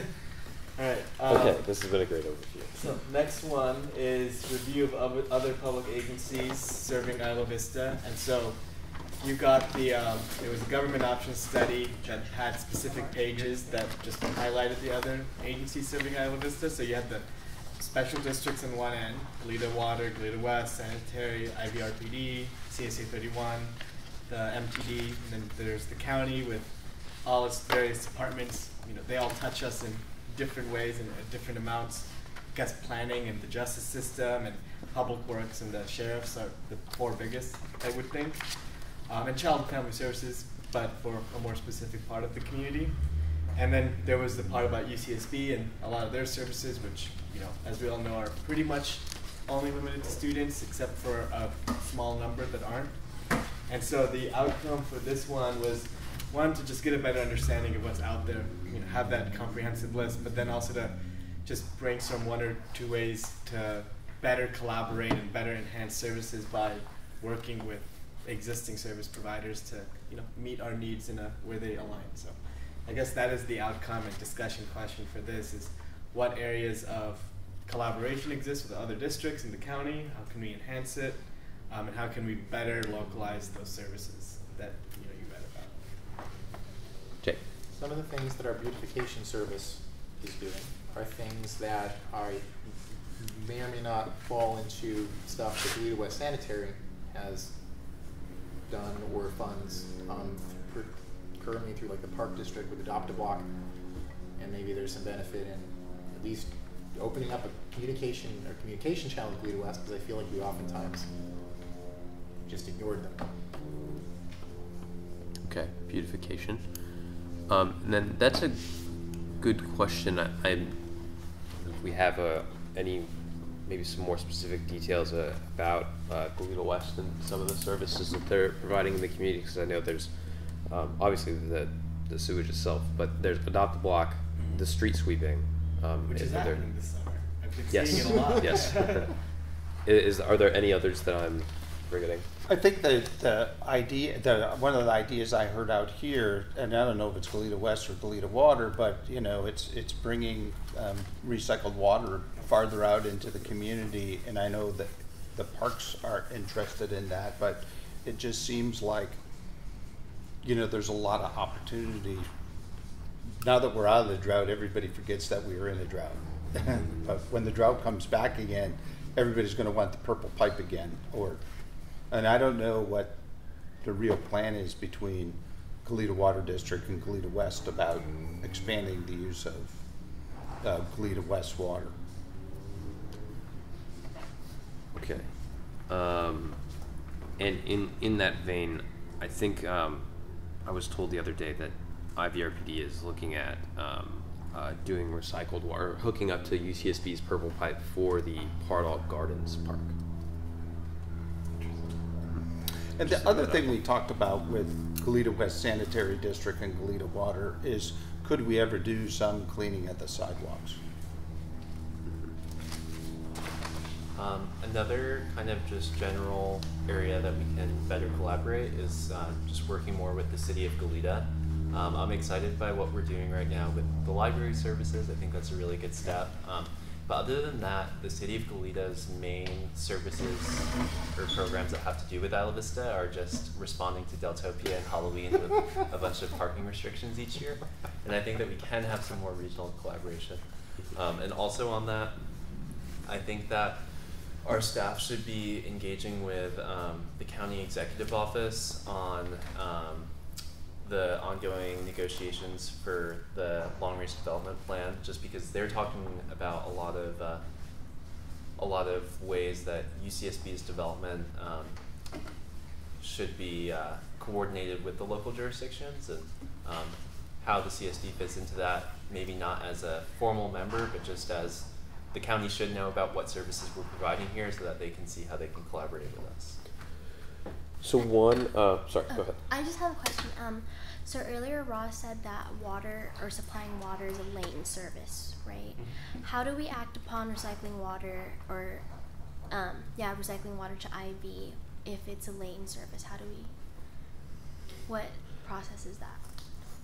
For the, from what I was hearing, the, it sounds like the Parks and Rec are looking at maybe hooking up the purple pipe from UCSB for certain aspects. Just one street. Yeah, well, that would be, that would not be something that the district would have the ability to do. It sounds like it's something IVRPD is doing in conjunction with the UCSB. Um, for the district's current activated powers, you would need some type of a tie-in.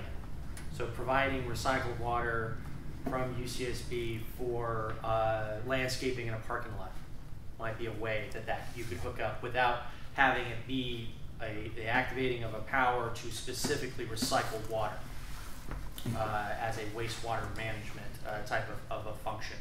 So that would be one way you could tap into that area through an existing activated power. Does that make sense? Yeah. Okay.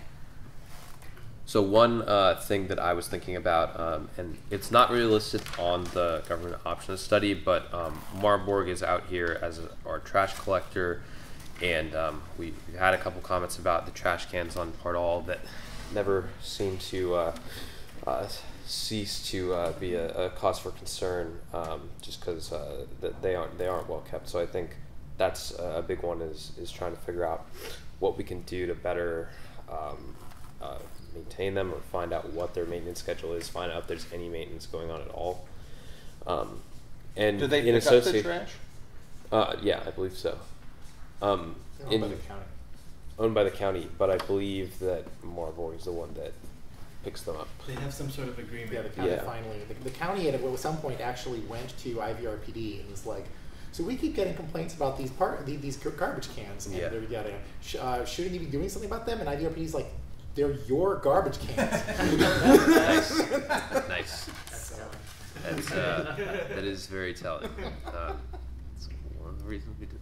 And So- how do they pick them uh, up by hand and empty them? Or I've never seen it. Never seen I've, I've never seen it happen either, which is the reason I bring it up, just because we need more information about what they're even saying they're doing. Yeah. Um, Okay, that could be something we. Yeah. So on top of um, that as well, um, we've talked about how uh, the biggest problem time in IV is uh, move out weekend uh, for UCSB students, um, and MarBorg has its large item uh, collection program. Um, but in my mind, that seems incredibly uh, underutilized, um, and there could be some collaborations that we could undertake maybe to uh, help make the program more accessible. Um, so. I think it'd be great for us to uh, explore and learn more about that as well. Um, in that same vein, related to just uh, trash in the community, there's there's also the the county's um, code enforcement officer that's supposed to be uh, handling handling those issues when there are things out in the community, um, like let's say someone dumped dumped a mattress or whatever it is, um, and it'd be. I've tried to reach out to him and try to see if we can talk with him because he pops up every once in a while. The guy named Brad Spencer.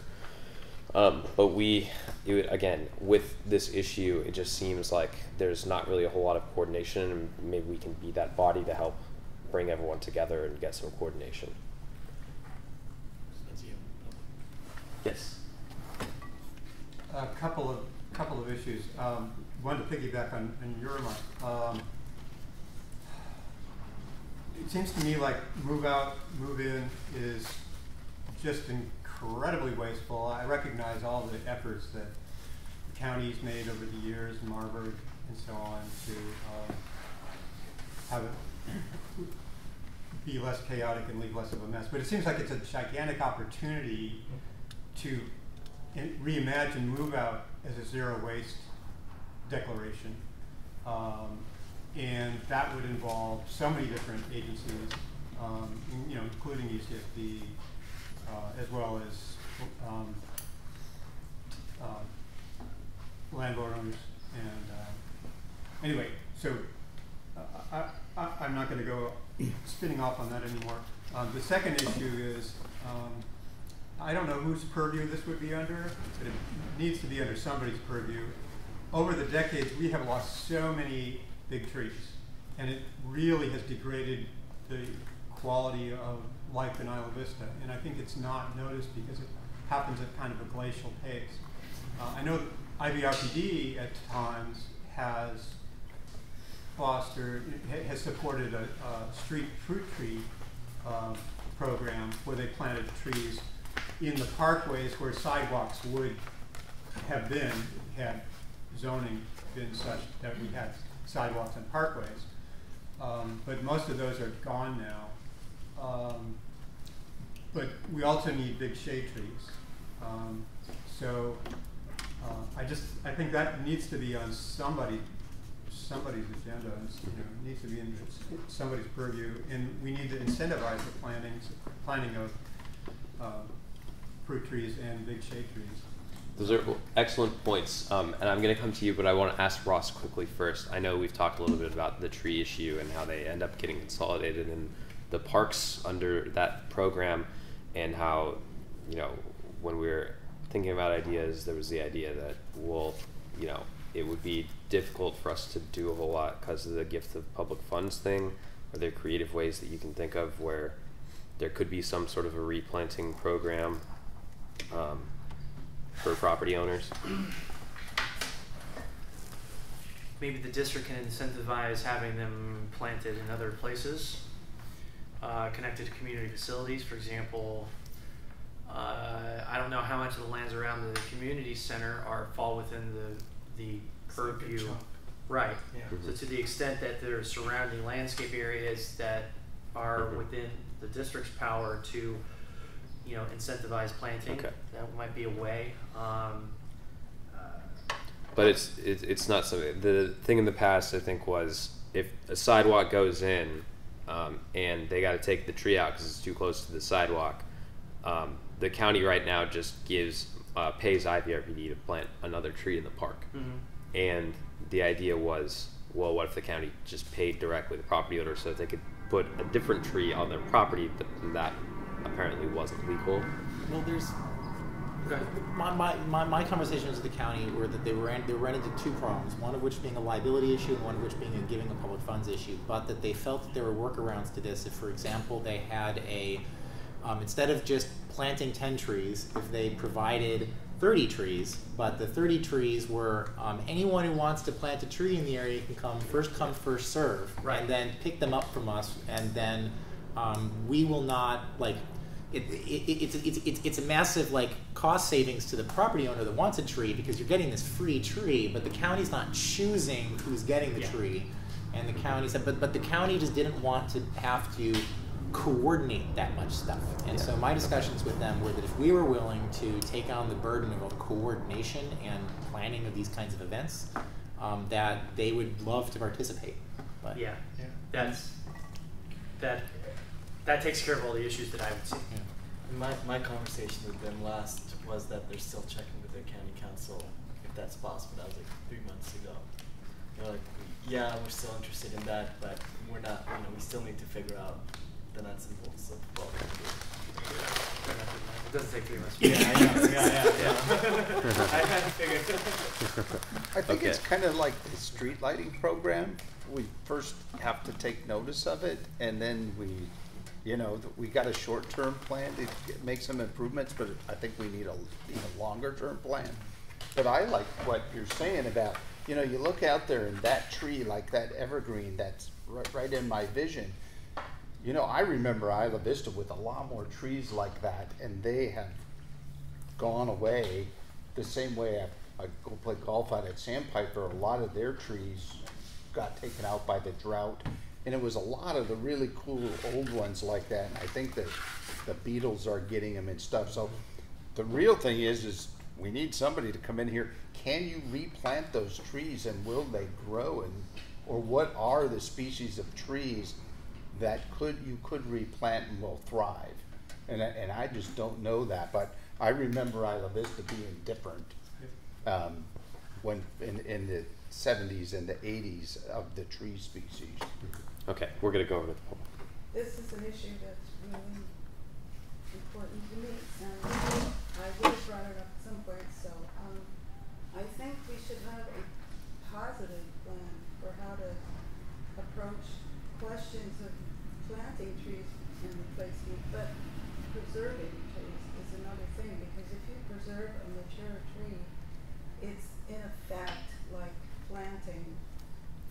40 trees because you end up starting out with these little baby trees that take 20 years to be uh, substantial, whereas there are opportunities to save trees, like deliberately having policy that if we possibly can, we will go around a tree to preserve this healthy, mature tree. And I know a uh, tree care person who's been working here in this area for 40 something years, and his his specialty is preserving trees that are in the way for one reason or another and making it work out. And uh, I'm gonna have a meeting with him next week. So I was wondering if the CSD might have consider consulting with somebody like this person, a, a tree specialist, whenever, or maybe ongoingly, but whenever you certainly have, you know, of a tree and as if it were separate from us, and they're not. Um, to have a healthy, thriving community, you have to consider trees as part of that community. So that's what I would really love to see happen. So maybe here's an idea. Would you be interested in having him come and talk to you about? Yeah, I think we'd, we'd, we'd love we'd love to meet and, and find out more information. That sounds very very cool, and and I guess I thank you for bringing it to our attention. I I would say um, just in general um, when when we've been talking um, with the county public works department about this issue and their plans to construct more sidewalks, I think our board seems to have been pretty clear that um, we in no way want them to prioritize uh, building new sidewalks, which I think is where the bulk of these uh, replacement uh, trees end up uh, coming into play if there's a tree that's too close to the right of way that they buy. Um, and we continue to be very clear that we would like uh, to see that uh, that those public works dollars prioritized towards street lighting in dark areas rather than in some of those uh, sidewalk areas.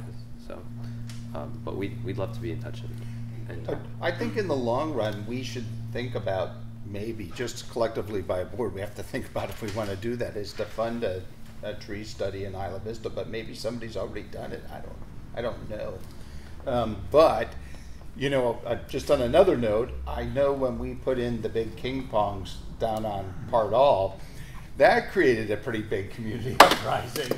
That not a lot of people liked those big king palms, and there was a real discussion in the community of we were we putting the wrong kind of trees in here. So trees can be controversial too about varieties. Um, very good point. To, But- if I can, uh, Spencer, trees are of they do create a lot of controversy, and they also create a lot of potential liability issues because the number one, uh, I say, risk management uh, issue that we deal with are slip and falls on sidewalks, and those rises are created primarily by parkway or private property adjacent uh, uh, growth. That Mhm. they raise up the Would, panels. would you say that we would take on significant uh, uh, risk if if we were to do some sort of coordination program like Jay had described? No, I don't. I don't think it's a concern in terms of a coordination program and the planting and all that. I think it goes more to the public comment about preserving trees in place. You, know, you, you, you have a number of issues that overlap. You have you have the preservation of existing natural resources in your district, um, with you know, the climate aspects that that, that, that it is, entails with that. But you also have a, an activated power of maintaining lights and sidewalks. Well, some of those trees are going to get away with the lighting. So do you Yeah. uh, approach the problem from the eliminating the obstruction, i.e. the tree? Can it support the type of, you know, mechanical intervention, cutting off limbs that might be, that might be one way to go? Or is it a matter of engineering the light in such a way that it provides light without interfering with the existing tree? Um, if that tree is pushing up sidewalk panels, you know, the, the cost associated with maintaining that sidewalk is gonna be greater there than it is for a situation where you're planting a new tree in a current or existing you know, parkway, uh, and the type of tree that you pick. You know, there's ones with a small, uh, there's an arborist term for it that I don't remember off the top of my head, but basically it's like a root ball. It doesn't go too far out, it doesn't spread, it doesn't push stuff up. Uh, you know, when a lot of communities were being planned and built 50 years ago, they weren't taking into consideration those things. And the other aspect of it is because it ends up being a, a, an inverse condemnation question, is that if the tree falls over, uh, Yeah. you know, usually it's public entity's fault. If it intrudes into your water line, if it intrudes into your sewer line, you have an inverse condemnation problem. So. Well, those are great points, and it'll be something that is important to consider. Um. I understand that very well, and, and my thought is that we need to look at it kind of like we were earlier talking about the coordination of the IB, the ED and the CC. That when you do something, approach something like that, you do it inviting those different interests to come together and discuss how we might solve it, rather than seeing it only as a liability issue, which seems to always get, you know, kind of take on the power, you know. Um, but there are, in fact, what I'm dealing with myself is exactly that kind of issue where there are, you could say, people on both sides of an issue in terms of a tree and how to resolve that, other than just simply the simplest, cheapest way, which is cutting off the tree and replacing it with a little baby tree. So new ways are being discovered. It's not, we don't necessarily have to always do things the same way. So I, I really hope we can have a sort of progressive approach to this issue. Well, those are great points. Thank you. And your your point about uh, the value of mature trees in our community is very well taken. Ethan. Um, so we only have an hour and a half Okay. left. We should probably move on. Um, do you know which? Because I don't think we're gonna be able to get to everything. Which parts do we want to do in the, the time that we have remaining? So um, we can skip. We can skip the. Um, let's see. I'm missing my number. Uh, we can skip the three point seven, six, and eight, and five. We can go very five and four. We can go extremely fast, and then I think it's important we get to ten through fourteen. Okay. Um, okay. Sounds great. Um, I'm gonna go over to uh, yes. trees or overpopulation? Which is it? There's too many people on the earth. There's only eight people in Noah's Ark because the world won't be spread. Thank, thank you for your wisdom as always, man. Okay, um, so in that case, um, if there's nothing else on this one, I think we'll go on to item three point four. Yeah, just Okay. really quickly, you know, we've talked about ACA one. Ross already covered it a little bit. That introduces the fifty-five percent. Uh, it reduces the threshold to pass taxes for, or pass bonds to fifty-five percent. Um, there's the RDA 2.0 efforts that the state legislature is looking at that are more affordable housing focused, but I couldn't find enough information to. There's just not a lot out there that's public that's been developed yet. Even CSDA doesn't have. Um, and then there's the Enhanced Infrastructure Finance District, which is, from my understanding, not something we can do ourselves, but we'd have to work with the county to ensure happens. But it is another way to be funding the transit libraries, you know, eh, public facilities. Rossi, do you have anything to add in terms of this section? No, that, that covers it, uh, with the exception of, I did stumble across a, a bill that might be of interest in conjunction with IVRPD.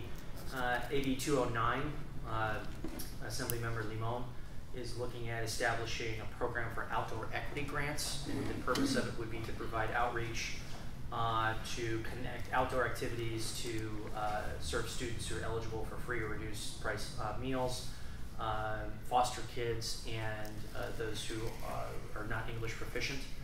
That might impact some of the, the residents of this district and might provide a means for getting grant funding to program in conjunction with IVRPD and their, and their parks. Yeah, we did get that grant, as you all are aware, to fund the outdoor activities that are run out of here. And we weren't able to fund that, uh, but that sounds like a, that's a cool idea. Yeah, this, this would be more money along those lines. Okay, and then moving next to resident priorities, so everyone got the opportunity matrix and the last budget uh, input we got. That was just to give you more information. No necessarily discussion needs to happen now unless there's anything uh, anyone wants to really highlight as interesting or that we should keep at the top of our heads uh, in terms of what was presented in the opportunity matrix in the last budget forum. So that's that's the only outcome for that. Is there anything that are really anyone feels really strongly about that we bring up? We'll go if you do. We can also go into the goals and you can bring them up there too. Yeah, I'll wait until three Until eleven. Mm-hmm.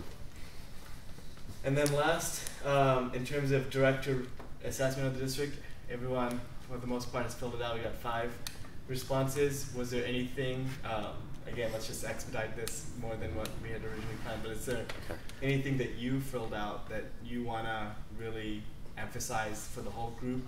Um, I could. I'm gonna share the responses with everybody later. But is there anything you said in your responses that you thought, you know, really you wanted to emphasize? Okay. Um, I, I think it's worth really pointing out is that when I when I really noticed it, it was almost uh, um, it was exciting. Uh, it, it's one of the, the strengths that our district has is the way that we're funded with utility users tax. It means that a lot of districts have to wait for property tax reassessments or they've got issues with dark reporting on um, uh, like the you, population increase, but you actually find out that you actually, whereas because we have a utility users tax, if there are more people here, they will use more utilities whether we figure out that they're here or not. Well, if they're if whether the property get reevaluated or not, our utility users tax actually scales with the stuff going on here, and so we're really set up in a way that almost no other special district ever is set up in order to be able to continue to scale our stuff with the people that are here. So I, I, I, when I, when I, like, I really noticed that fact. I got so excited, and I just want to like emphasize that strength of our district. Um, Okay. Um, one thing, just jumping off that, that Jonathan and I have chatted out uh, about a little bit is um, with the UT and the uh, different fluctuation and volatility that that provides. It will be important for us just to all be uh, good at monitoring what the other utilities in the area are doing in terms of rates. Uh, we had some changes at the Goleta Water District. Um, it's going to turn out to be fine for our revenue estimates, but it will be good for us to keep tabs on that. Ethan? Thank you. Uh, one thing that I was going to talk about, kind of as a opportunity and a threat. Uh, first, on the opportunity side, I'm really excited to see um, as we develop our staff what new capabilities we have. Um, like, it's a really exciting time having the community center director coming on and the assistant general manager, our awesome legal team keeping up the great work. Um, I'm excited to see what kind of um, additional things we're able to do, and I really have a lot of faith in the staff we've assembled. Um, same with on our board. I'm really grateful that we have a really active board, and I think we're doing a great job. Um, where I see a threat, or it's more just something we have to monitor, is really like succession planning and uh, having a um, pipeline of people to serve in capacities in the district, whether it's on the staff, whether it's on the board, or whether it's on um, an advisory committee like our uh, awesome community center committee that we are actively appointing people to. Um, there's a, a lot of uh, technical knowledge that goes into this, as uh, Ross has shown us today, and we, we know every meeting. Um, so it's just important for us to keep that engagement level high, um, especially since, I mean, we, we've spoken a lot about people who uh, weren't here in 2014, and uh, now we've had a full rotation of UCSB classes um, where there was no one here in 2014. Um, but when we think about the foundation of this district and the founding of this district, 2016, 2017, um, in a few years there's going to be no one uh, at school who was here at our time of formation. So um, just keeping the public engagement high and making sure that we have opportunities for people to get involved. Well, those are both really good points, and uh, I would uh, throw out an idea that I saw uh, the city of Goleta is doing, where they have uh, sort of a public, um, a public engagement uh, program where uh, people get to go and participate, learn just about public service in different ways um, that they can become involved through the city, and um, so that's something that um, I think it'd be really cool for us to look into and uh, you know see how well that was performing from the photos I saw. They got really good attendance, so um, I appreciate you for bringing that up. One comment I wanted to make. Um, I think that um, we have a lot of strengths going for us. Uh, the two biggest ones I put is just our nimbleness and our cooperativeness. I think that I've been just really impressed to see how um, we have been able to approach things in such a cooperative manner when it comes to like one example I put down was our the direction we're going with the graffiti abatement ordinance where we're trying to get an agreement uh, agreements with property owners uh, before you know sort of provide that carrot rather than stick when it comes to getting graffiti taken care of. Um, so that's just one example but I think um, when it comes to an area for improvement that I think is our most important area that we need to improve in, it's in communications. It's in um, ensuring that uh, information is is flowing, um, information is accessible uh, through the website, um, through social media, uh, through other print materials, um, and especially um, when it comes to uh, highlighting the work that our staff and our board is doing. It's super important, I think, to, um, to to take advantage of the opportunities to throw out press releases and to um, you know send just blast this stuff out into the community. Um, make sure that the awareness level is high. Um, it's an area where um, you know it, I think it's it's natural for organizations for communications to come last since we gotta do the things before we can talk about doing the things. Um, but now that we have um, our assistant general manager uh, coming on board, I see it as a huge opportunity for that to be a big priority. It's priority. gonna be one of her big charges is to help develop that system. Chrissy? Um, to add on to the communication part, I noticed that the website isn't complete. There's a lot of things that are missing, like the resources. I don't think there are links um, in where the resources are, or even email addresses that aren't complete within the, the staff. And I don't know. Do we do we still have interns? We don't have interns right now. Okay. Okay. But the website's not gonna be an intern thing from now on. Okay. It now that we have Deborah Okay. and myself being relieved by Deborah taking on some responsibilities, that could be a bigger priority. Okay. Mhm. And I think that um, sort of hand in hand uh, with, because I say it's communications, but also just this flow of information in general. And I think that um, one area where it'll be cool to uh, have Deborah on board is in having someone uh, to be able to clerk the board basically. And uh, well, I use clerk uh, in, a, in a, you know, a loose way since technically you're the clerk, but um, someone who can uh, take those uh, de- more detailed minutes, maybe than we've been doing in the past.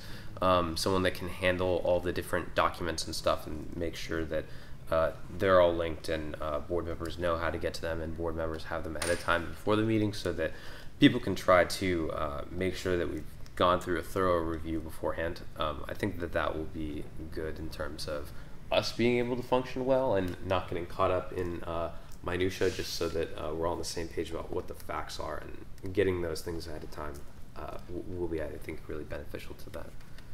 Ethan? Thank you. Another uh, thing that I had as a threat is uh, scope creep, uh, just kind of the, the threat of being taken off our, our target, which we, we're in an exciting time. There's lots of things that have to get done in this community. Um, but I think that threat is uh, when we have so many things in front of us, we can lose sight of the things that we're really making progress on.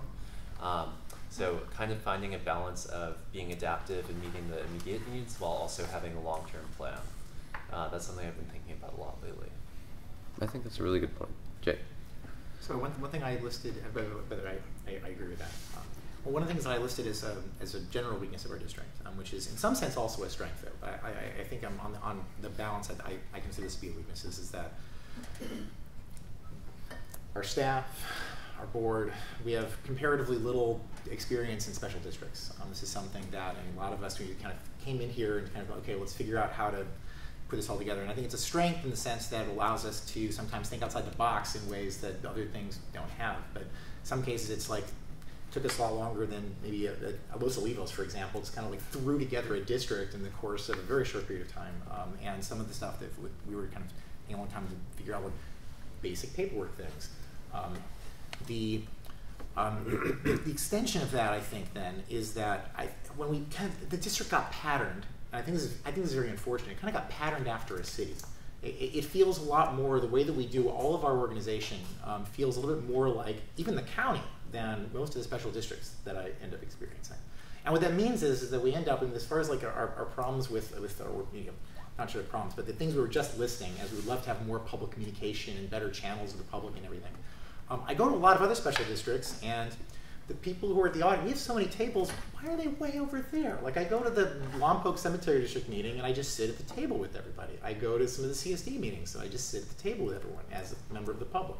We had discussions, and members of the public are able to just participate in the conversation. We don't have a lot of this extremely formal to the point of like, I mean, it's particularly some of the people on Goleta are really, really picky about this, where we carefully set up turn orients on everything that we're doing and then try to time limit everything, even among the board members, because we might get too many bites at the apple, as one of the Goleta board members like to say. But the mm-hmm. special districts, I mean, I, I mean, Guadalupe Cemetery, I just, I just love it when there's two board members who just start, start going back and forth really fast, trying to like understand what, what's going on, and and it, and it, and they, I feel like they get stuff done quicker. And then, as again, as a member of the public, I'm at the table with them, and I'm able to actually participate in that conversation. And I, I think that it it makes it feel a lot more interactive and a lot less like there's this elite group at the table, and then there's the audience out there.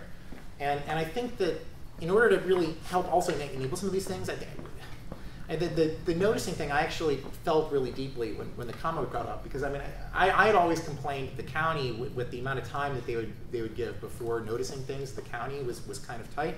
But I knew internally they had lots of visibility on it. And I was talking to, to Esther and Esther would tell me yeah, three weeks from now something's going to come up again if you are paying attention to this but I never fathomed me that I'd be on a district, and three days before the meeting, I get the agenda, and I'm realizing I've got to try to scramble in order to get comments from people in the public. I'm sometimes, uh, you know, still the day of the meeting, like trying to coordinate. Maybe can, can you maybe come to the meetings? I know this is something you care really strongly about and everything, and like having a long-term meeting planning agenda that we're collaboratively able to work on, so that we can coordinate the fact that a month from now something will come up on our agenda so that we can make certain the right members of the public are able to be there so that we can have a conversation with the members of the public as opposed to simply having them in the audience watching us bicker for a while and then providing a little short word of comment like i just think there's just so much opportunity for us to be better at interacting with the public and that i see other districts being already better at interacting in those exact same manners that i would love to see us really try to fix Okay. Quick Russ, comment yeah. if I could. Uh, I think it kind of goes to a couple of comments, which is, or the thread between a couple of comments, which is why I think I wanted to say something. Is one of the things I've, I've been working with Jonathan on is kind of routinizing a, a, a staff process and a schedule. So you don't have a lot of rushing around at the last minute. You don't have notice going out just under the wire for the you know, required minimum amount of time. And so you know for a while we had a standing meeting of Wednesdays at two. We were going to talk for an hour and a half. It's just that Jonathan's job for a long time has required two and a half Jonathans, and you know now that there's a, a an assistant GM, I, I, think we're going to be able to revisit some of that uh, higher level planning to provide that type of you know of foresight and to provide that the type of structuring to, to really maximize the, the time at the board meeting when the public is, is, present. And so that things like a, a typo here doesn't creep in and cause you know last minute heartburn for uh, for folks. So we have certainly gone down that road before, and I think that with the path that the board is taking with hiring uh, an assistant GM, that's really going to help. And I think it's going to hit that thread that has been mentioned by a, a couple different people. So we're going to keep working on that uh, on our side of things, and we'll we'll keep you in the loop as it gets developed. Great. I, th- I think that's a great um, a great thing, and I'm I'm excited about that. Um, just because it, I think it can um, be. Uh, you know, no one is uh, happy when we got to do the revisions at the last minute. Um, but also, um, we and and this isn't always. I would actually say this is uh, almost always not our fault. But when we say we're trying to work out an agreement with another agency, and they tell us they're going to have it at a certain point in time, and then they don't, and um, I, I, do feel a little bad about that when we have to put that on the agenda because then we end up just having it on the agenda over and over and over again because we're just waiting and waiting and waiting. Um, but um, I, you know, it, that's one of those things where I don't know if there are creative things we could do to improve on that. You know, that could be. I think one of, one of them really just comes down to having the bodies. Yeah. Like I said, a lot of times, Jonathan, we need two and a half Jonathans to, to, to do the work of the district. You know, and I need to be cognizant of making sure I'm not doing administrative stuff because there's no reason to charge you legal fees for administrative things. And I think having an extra person is going to go a long way to standardizing a lot of that process and, and having it be, uh, you know, the transparency and the insight, I think is how Jay said it, uh, to make sure that we're not having things being jammed up and uh, just improving the overall perception and also the, the ability of the, of the board and the staff to communicate Okay, uh, I'm going to go to the public and then I'm going to go to Ethan. Uh, I would really like to um, thank everyone on the board um, for your your receptivity to public comments during this workshop um, in, or retreat. And uh, I, would really like to uh, honor uh, Director Freeman's orientation towards listening uh, and outreach and your sentiments in your voice.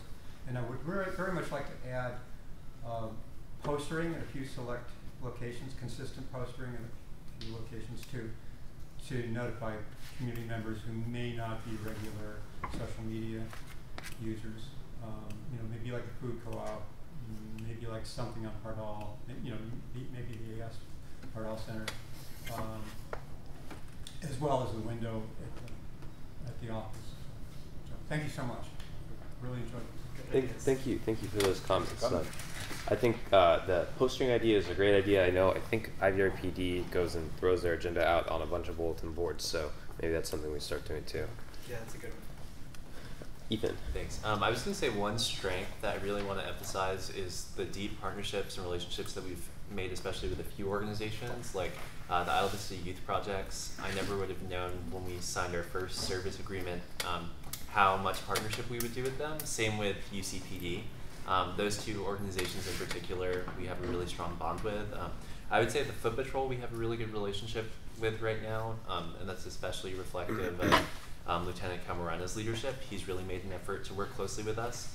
Um, but I think in these coming months, we should really identify some other organizations that we want to develop those ties with as well, because they really pay off. It's a great point. Um, is there anything else that people want to specifically mention for strengths, weaknesses, opportunities?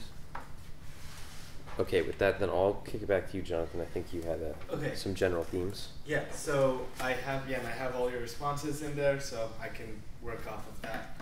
Uh, so last, so this is the last of like the previous section, or the, the we're ending the first part of the retreat. The second part, we're gonna push over to other times policy manual. If you have ideas, always message me. And we'll have them at the policy committee. That board management relationship. I think we can just wait till Deborah gets here. We'll just do it then, um, and then we'll move on to part three, which is the future of the district and our goals and our values and our vision and mission. Uh, so quickly, we'll, we'll, we're doing them in order. Uh, it's going to be values, then one-year goals, three-year goals, mission, and vision. But then I thought last minute, okay, maybe we should just do the mission before the goals. And so I'm proposing we do values, then mission, and then we'll go into the goals. But for values, what uh, we have put as the outcome is for the directors, to, you know, each give one or two values that not doesn't have to be too fleshed out, but what you're thinking the values of the district should be. And then, you know, for all of these, I'm gonna do my homework and make them all nice and put them together and bring them back to the next board meeting. But some notes for the values are: what do we consider important? What do we believe in? And they're gonna guide our actions and culture at the end of the day. So, and I guess maybe it would be good to just go around and have everyone give a value or two. I'll write them down, and then we'll keep them forward next. I think that sounds great. Um, anyone want to volunteer and throw out ones first? Ethan? Okay, so I can start maybe we go down the line. Um, my big one is uh, that this district is committed to ensuring that everyone feels safe in Isla Vista, and that our efforts are always uh, working towards that. Okay. I'll second that. I think I think we'll probably all end up seconding that one. Uh, it's the most fun Time one spot. thing. Uh, Yeah. Very uh, time spot. Yeah, I like that. Um, Bob. I, I think the district already has introduced the value of, maybe we want to put it in writing, but, you know, public input. I, I just find that you, you guys, you guys are really strong on turning to the public and saying, hey, Bob, can you take public comment? I mean, and, and so it's the, you guys have that value, you're really looking for it. And I think it came out of the AB three process, so. I think that's something that's important for our district and the community as a whole is just the idea of social justice. And I think that um, in uh, programs that we have underway, uh, I always think of the beautification program, really, which embodies that in so many ways to me. Um, it's just important that that is that is in writing. Christy, Jay, you have any? I think it's putting people first, and um, the fact that we all don't have the same perspective on things um, is what makes us really strong um, being able to have opposing ideas, but at the end find a way to solve things and find alternatives is, I think, something that this district does really well. That's good. So certainly not what I, what I would have led with, because I would have led with the transparency one, so glad that that was brought up, and um, the uh, Transparency? yeah, I would I would have led with the transparency. I mean, the, that's a public input one. I would, that's what I've led. I'm, just- I'm just I'll just of what I'm about to say. I'm just saying like I, I would not have led with this one. I would have led with the um, public uh, the public input one that, that Bob's brought up here.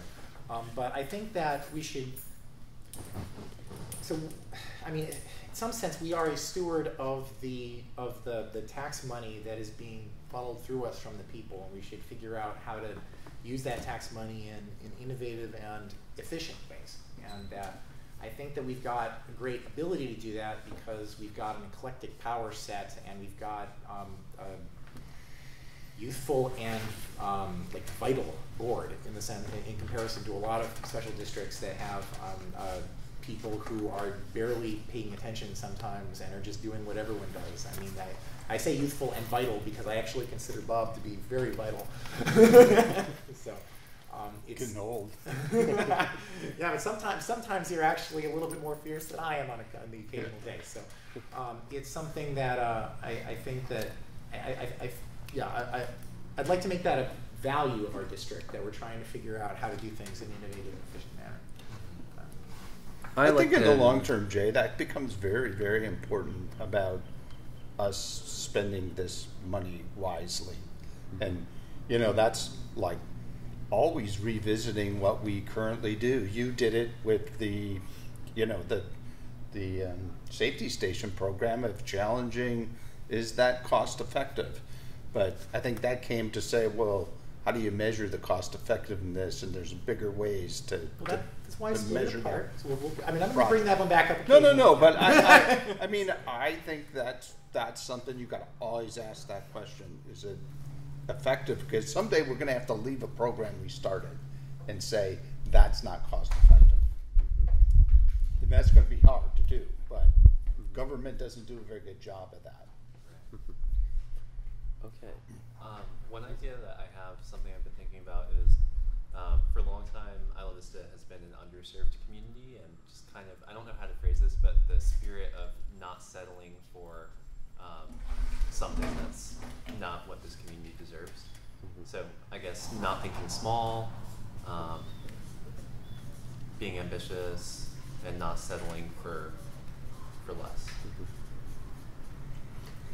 I think the last thing um, that I would close out with, um, and I'm trying to figure out if there's a word for this, um, but um, when we are sort of this uh, very uh, youthful com- community with so much turnover, uh, I think that it's important for us um, as policymakers and representatives to always be remembering um, the fact that um, it's not our constituents' uh, job to be able to figure out how to get something done. That's our job, and uh, we, I think, and I think we do a really good job of this, is uh, trying to meet people where they are uh, and, and trying to help educate them on, on how things work and helping them figure something out within all this web of different government agencies that do things in IV.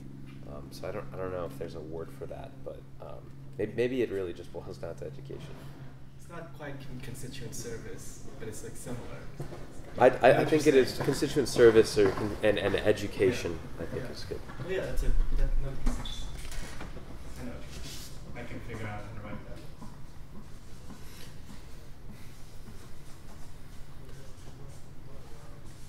Okay. We're good on values? Okay, this is good. And are you going to put this in a value statement or just a yeah, list? so what you'll get at the end of this as a board item is like a two doc two page document that has you know IVCSD, mission, vision, values, goals, one year goals, three year goals, and then so you have a comprehensive document that has all our goals, values, mission, and vision. Awesome. And then objectives and everything. I just have, you know, thinking when, you know, people people have been coming here for a long time and getting a great education, and I get back to saying, well, how do you look back on your time at UCSB? And I think what Ethan brought up, number one, is that they went to a community that they really had fun at. Not only feel safe, but it was a fun environment to be to get an education in. I, I think that should be you know, it's a little bit more. We we're trying to we're trying to give that value to people, and it's the best four or five years of your life. Um, at least I can attest to that.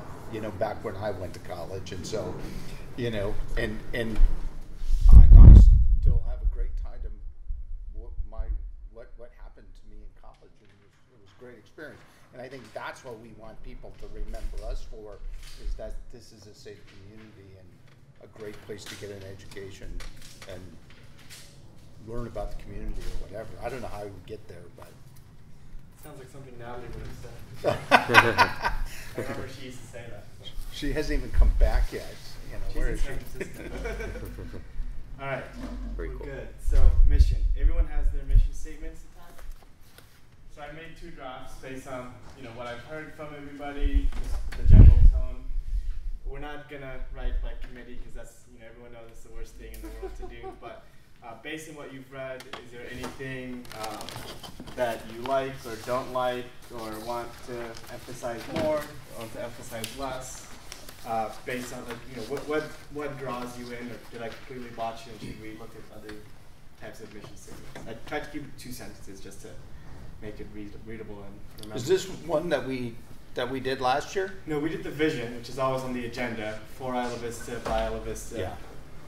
building the community we deserve.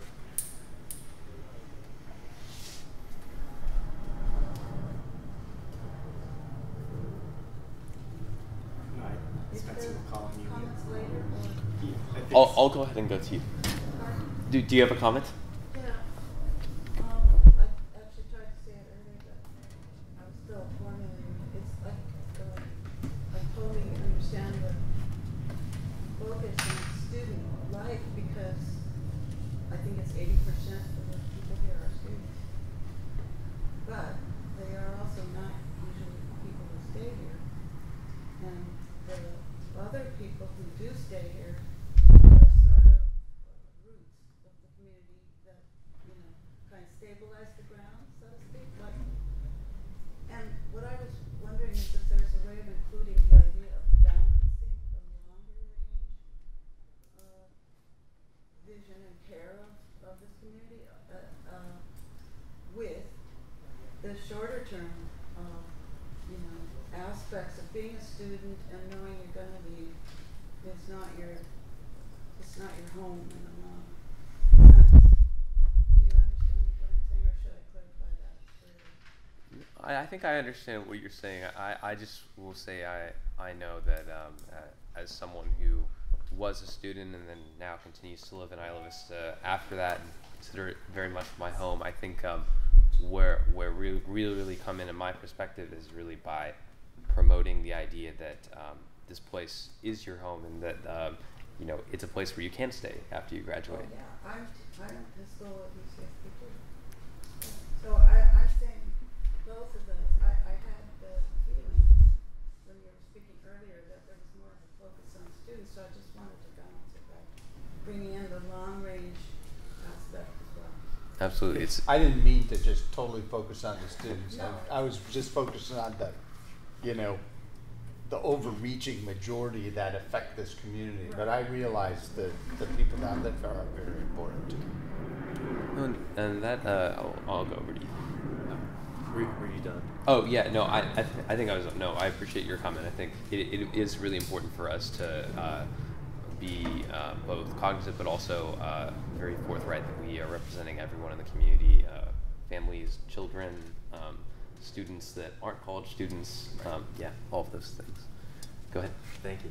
Um, so I really like what we have in the draft mission statement, um, but I do think that this draft mission statement is an excellent one specific to our board of directors, but maybe not um, the best mission statement for like the district at large.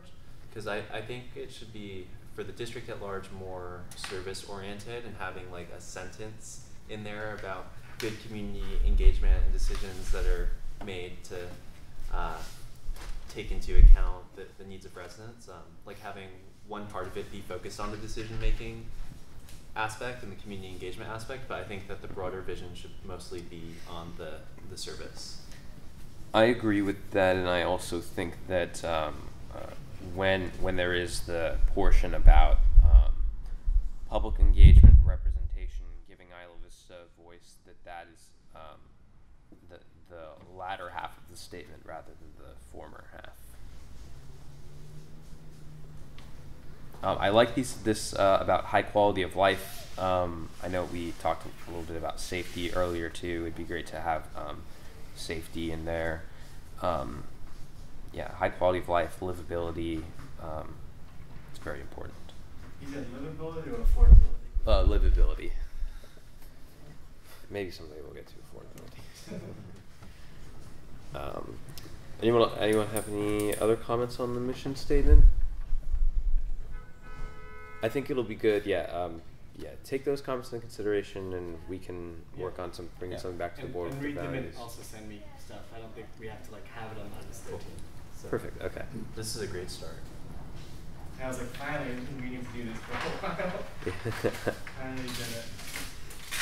Alright, so next up is the most fun part, I think, which are the goals for one for this one year. So I'm gonna just really quickly read the goals that we got from everybody, just so that we're all on the same page on that, and then we can have a conversation about, you know, we can start listing the goals that we all have an idea for, and then maybe everyone can just vote to prioritize. It doesn't mean we're gonna cut or omit or you know add anything, but just to get a sense like, wow, everyone really feels strongly about this one. We'll focus on this one. If only one person had a goal, it might fall lower to the to the list. So, um, so the goals that we got were expansion of our visibility in the community, uh, translation services at public meetings. I think that goes in with our public engagement, library branch, NIV, uh, reduce the rate of crime and other public safety issues, provide an inviting and engaging experience in the community center,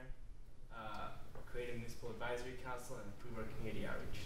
Those, and then there's one three-year goal for uh, merge, dissolve and merge CSA 31, activate trash power. So, in terms of our, uh, based on everything we've talked about, and, and you all saw I know like the SMART goals, so there's be specific, measurable, attainable, uh, I forget the last two, timely, I don't know what the R is. Relevant. Relevant, yeah. Mhm. That's really important. yeah. You can't have a goal like create rent control again. No, we cannot do that. uh, so, as any, so let's just maybe do the same thing. Oh, I did. I, I listened to all those goals, and then I, I mean that we already have. But then I keep going back to these activated powers not used and say, well, we got a MAC on there, and then we hear, do we really want to do a MAC? But then we say, can an area planning commission be effective? I keep hearing from third district, no. Um, I, I look at a parking district and everybody tells me that's way over your head. Don't go tackle that. You'll never solve it. And then I look at code enforcement, and most people say, don't touch that thing with a 10 foot pole because you'll never get it out. Um, so I, I don't know. We, we really spent a long time in the AB3 formula saying these are four things that need to be tackled in the community, and then are we scared of them? And, I- and I don't know. We're, you know, we're still in startup, and I like that list. You just said a whole bunch of things on there that if we're successful doing that next year, I'm I'm happy. But it always just bothers me back out here when somebody says, "Why aren't you doing this?" yeah. So we, we have had this separation, right, between what was in AB three and what the board would eventually think is a good idea. Because AB three wasn't necessarily being able to make mandates about what anything was happening. It was, I mean, sometimes stuff would get thrown in there because we just wanted to make certain that we had the option of doing that if we if we decided that it would be, be powerful. Uh, and some of the things in there, I mean, like I, particularly I look at area planning commission, and that's that's one where I think I'm really glad that we got that power thrown in there. But I don't know if we're gonna. I mean, I, I I see the arguments of them being ineffective I- Because I see neither of those from- guarantees that the master plan is ever going to get adopted. yeah.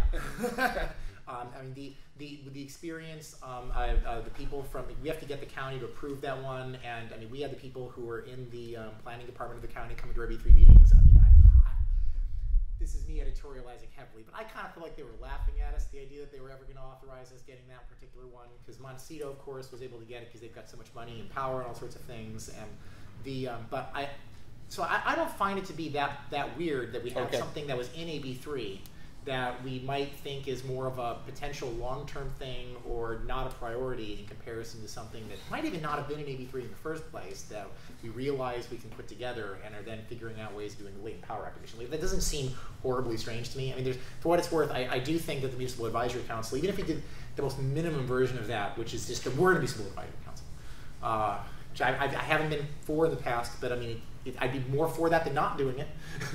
and so, and, and that minimal version of it, I think, gives us a little bit more weight with the county on a few things um, at low cost. But I, I, I, so I'm still for that. Um, I'm one of the people who argues a lot about the, the, the morass of parking when you start unraveling it and how horrible all the arguments start into becoming on all sides. Um, I, uh, um, I appreciate the issues with, with code enforcement. I do think there's some, some things we can do there if we're really innovative about it.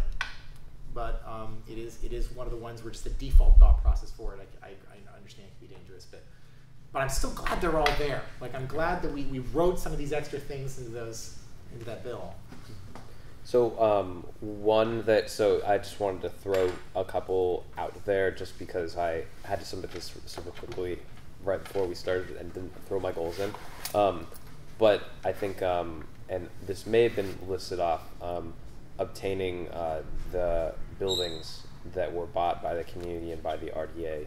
Um, but well, both the buildings and the, the properties, the community center, community resource building, um, the solar parking lot, um, so that we uh, can operate and maintain them ourselves. I think that's a good uh, short, short-ish term goal to have, um, and now's probably the right time to act on it. Yeah, th- I, I agree with those. So I that's a too. 1920 goal. Yeah. Okay, cool.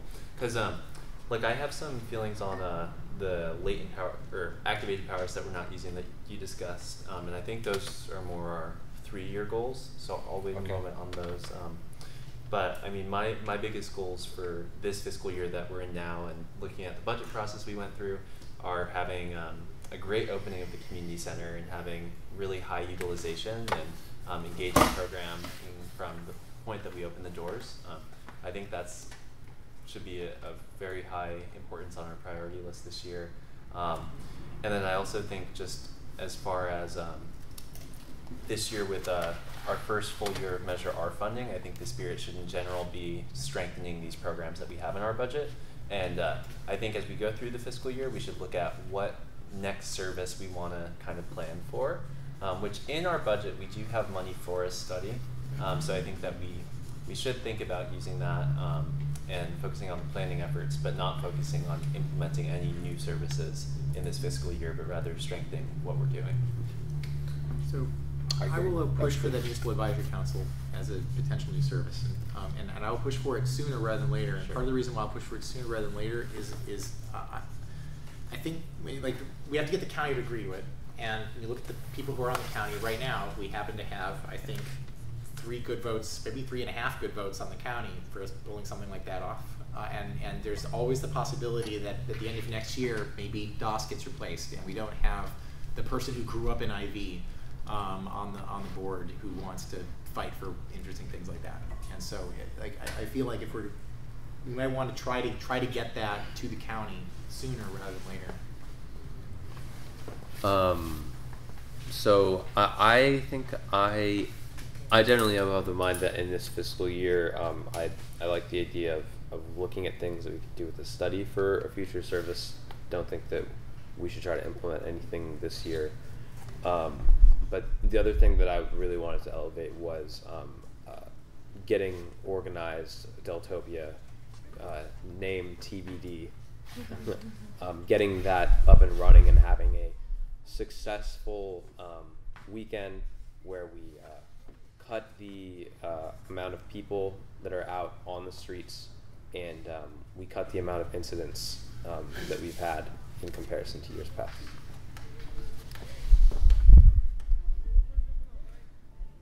Anything else people are thinking? So, so two for sure are conceiving like raise awareness and district public outreach and engagement. That include, I think that would include like the uh, translation and our better website and all that. Uh, but you know, successful community center and you know the fundraising that might go along with that. I think like good grand opening, the 50 year celebration. Um, and then one thing that I didn't mention this in terms of the census. Do we want to make that a goal to be, you know, ensure that Isla Vista is counted completely, and you know, because that is future revenue if we're counted well, then and it is giving the district information over who we rep, who, who we are serving. Do we want to make that a goal? Just be, because we've been asked to participate in this whole Mhm, thing. mhm. I, I think that it's a good idea for us to make that a goal. even. Yeah, I think that we should be a resource to uh, the county's efforts in Isla Vista, but I don't think that we should take it on as a principal effort of ours just because, uh, I mean, again, going back to scope creep, I'm just scared uh, with everything we have to do. I don't see um, the census as something that um, we can really give much time to given our responsibilities. Just a quick, the county's not going to do anything in IV. They're looking to us. But They- I, yeah. I, I think Yeah. that our district is the wrong Yeah, place to look. I think, um, well, with the the efforts that um, at least just have been described so far, it, it would be good to have sort of a report about what the things are that they're going to be looking to us to do, and to have a discussion about that at the board level. Um, I've, I've you know enjoyed hearing about what the calls have been like so far, but um, it would be good to hear also just in comparison what support they're just giving in general and where the support is coming from. The- Um, The only other little scope thing I, would be nice is if we could, if we find any small, um, infrastructure improvement projects, like maybe we could take on replacing the trash cans this year or do something to improve trash pickup as part of beautification or, you know, some of those things we, you, you know, I don't know, what in our studies, if we wanna, if we wanna try and do something for alternative transportation, just more little things that maybe could make a difference. Um, sometimes we did some of that with the redevelopment agency, and those little things are noticed out in the community, so it's just, uh, you know, I don't know what something would be, and we did bus stops in our days, but, so. no, I, I like uh, I like that suggestion, um, both for the bus stops and the trash cans. And Um, you know, we do have the two hundred and fifty thousand dollar reserve now for capital infrastructures, if we could ever find a project to leverage against. It sure would, it's something to keep in our mind that we're looking for a, a, a re, to make a real impact with that money. Okay, cool. So do we want to prioritize these? Or Yeah. How many people think this is an important? Because eh, we're not going to want to have like ten goals either. We probably want to have like a focused amount that we can actually achieve, and we'll try to like combine and everything, and we'll make objectives that maybe incorporate like you know an objective of this could be the translation service instead of like the goal being translation. It could be something we do. So I guess for this one, the improved public outreach, community engagement, communication.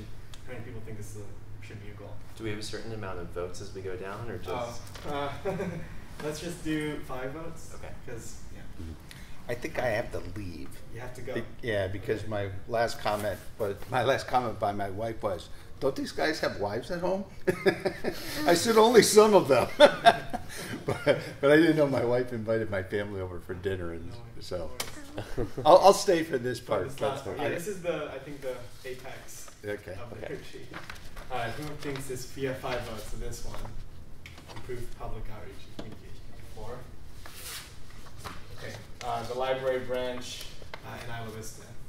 Wait. Do we think that one could become something under services expansion, or should it be its own goal or community center? I think yeah, lump that into community center. As we start lumping things, really we're just voting against one thing at this point, right? Kind of. Because No, we've got we're- we're five votes, It we've will be under the community center. it does. It's not a vote. You don't. It Well, uh, so, in terms of reducing crime, increasing safety as a goal. Fine. Got to. Uh, community center. Uh, obtaining the ownership of the RDA properties. I think that's separate than opening the community center. Yeah. Just one? I, I, I think that's important and that, that, that kicks off our infrastructure, us being part of owning infrastructure. So you voting for it? I'm voting for it. Okay. Uh, Okay. Here, here, He- take, take one away, I was awkward, take one away from reduce crime and public increase safety, and give it to the solar law. Okay. Nice. Cool. Uh, and then so strengthening. i I'm gonna split investigating new and maybe strengthening, or do we want to make those into? You should same? probably split those. Okay, so Yeah. strengthening our current programs. It's- I mean, yeah, that's like just so broad Sounds though. broad, yeah. Well, Yeah. we we'd make it into objectives, probably like you know, rebrand rental housing mediation program and expand its like public outreach. I, we'd have to figure out the objectives for that one, Mhm. or we could say you know, invest into our current programs, Mm-hmm. do assessments of them. Yeah, So I'll mention when I mentioned that I was thinking more of my philosophy of going Your through this philosophy, process, okay. like Mhm. Not um, as a goal. So maybe we can take it off because, Okay. like, when we look at the safety and the public outreach, Mhm. Isla Vista Community Center soon, like those are all things that those- we budgeted and, for. and and those and those have uh, uh, metrics that you I, could. I would quantify. change that one to like, a, it's a goal to have continuous improvement, meaning that you, you're always one to look at the programs you haven't continuously improved them. But Mhm.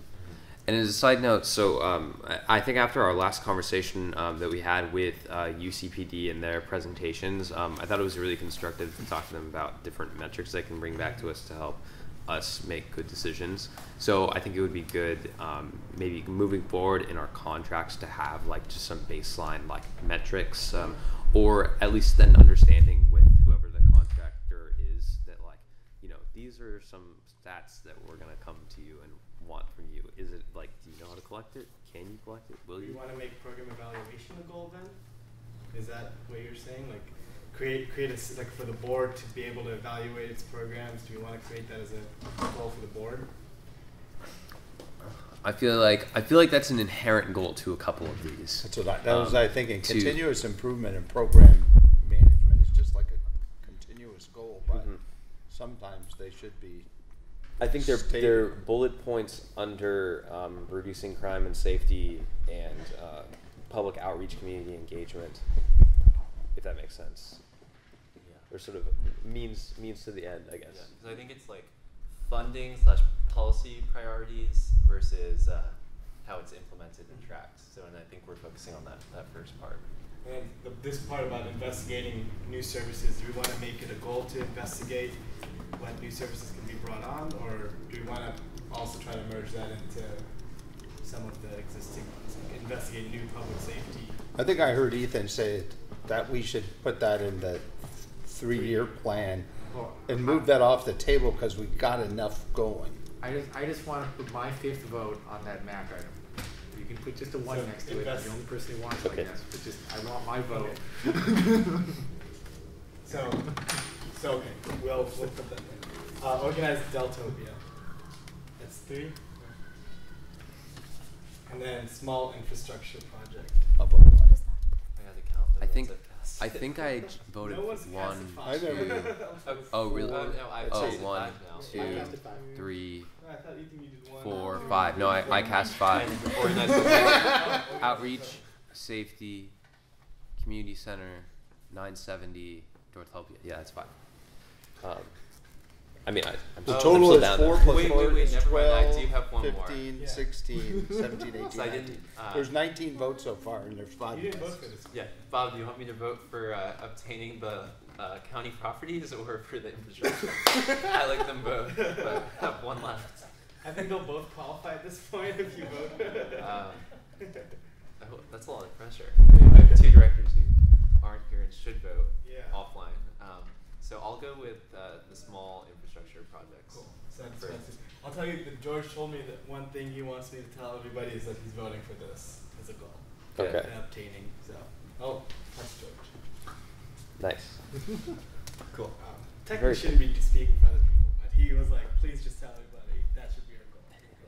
And all of these are just, there's no motion and it's all There's no conceptual. motion. Yeah. You'll Yeah. have to approve these at a future meeting, and they'll have, you know, And all votes would be cast based on all the information presented at the time of the meeting. Mm. No decisions being made at this point. Yes? I have to say that I understand what you but I.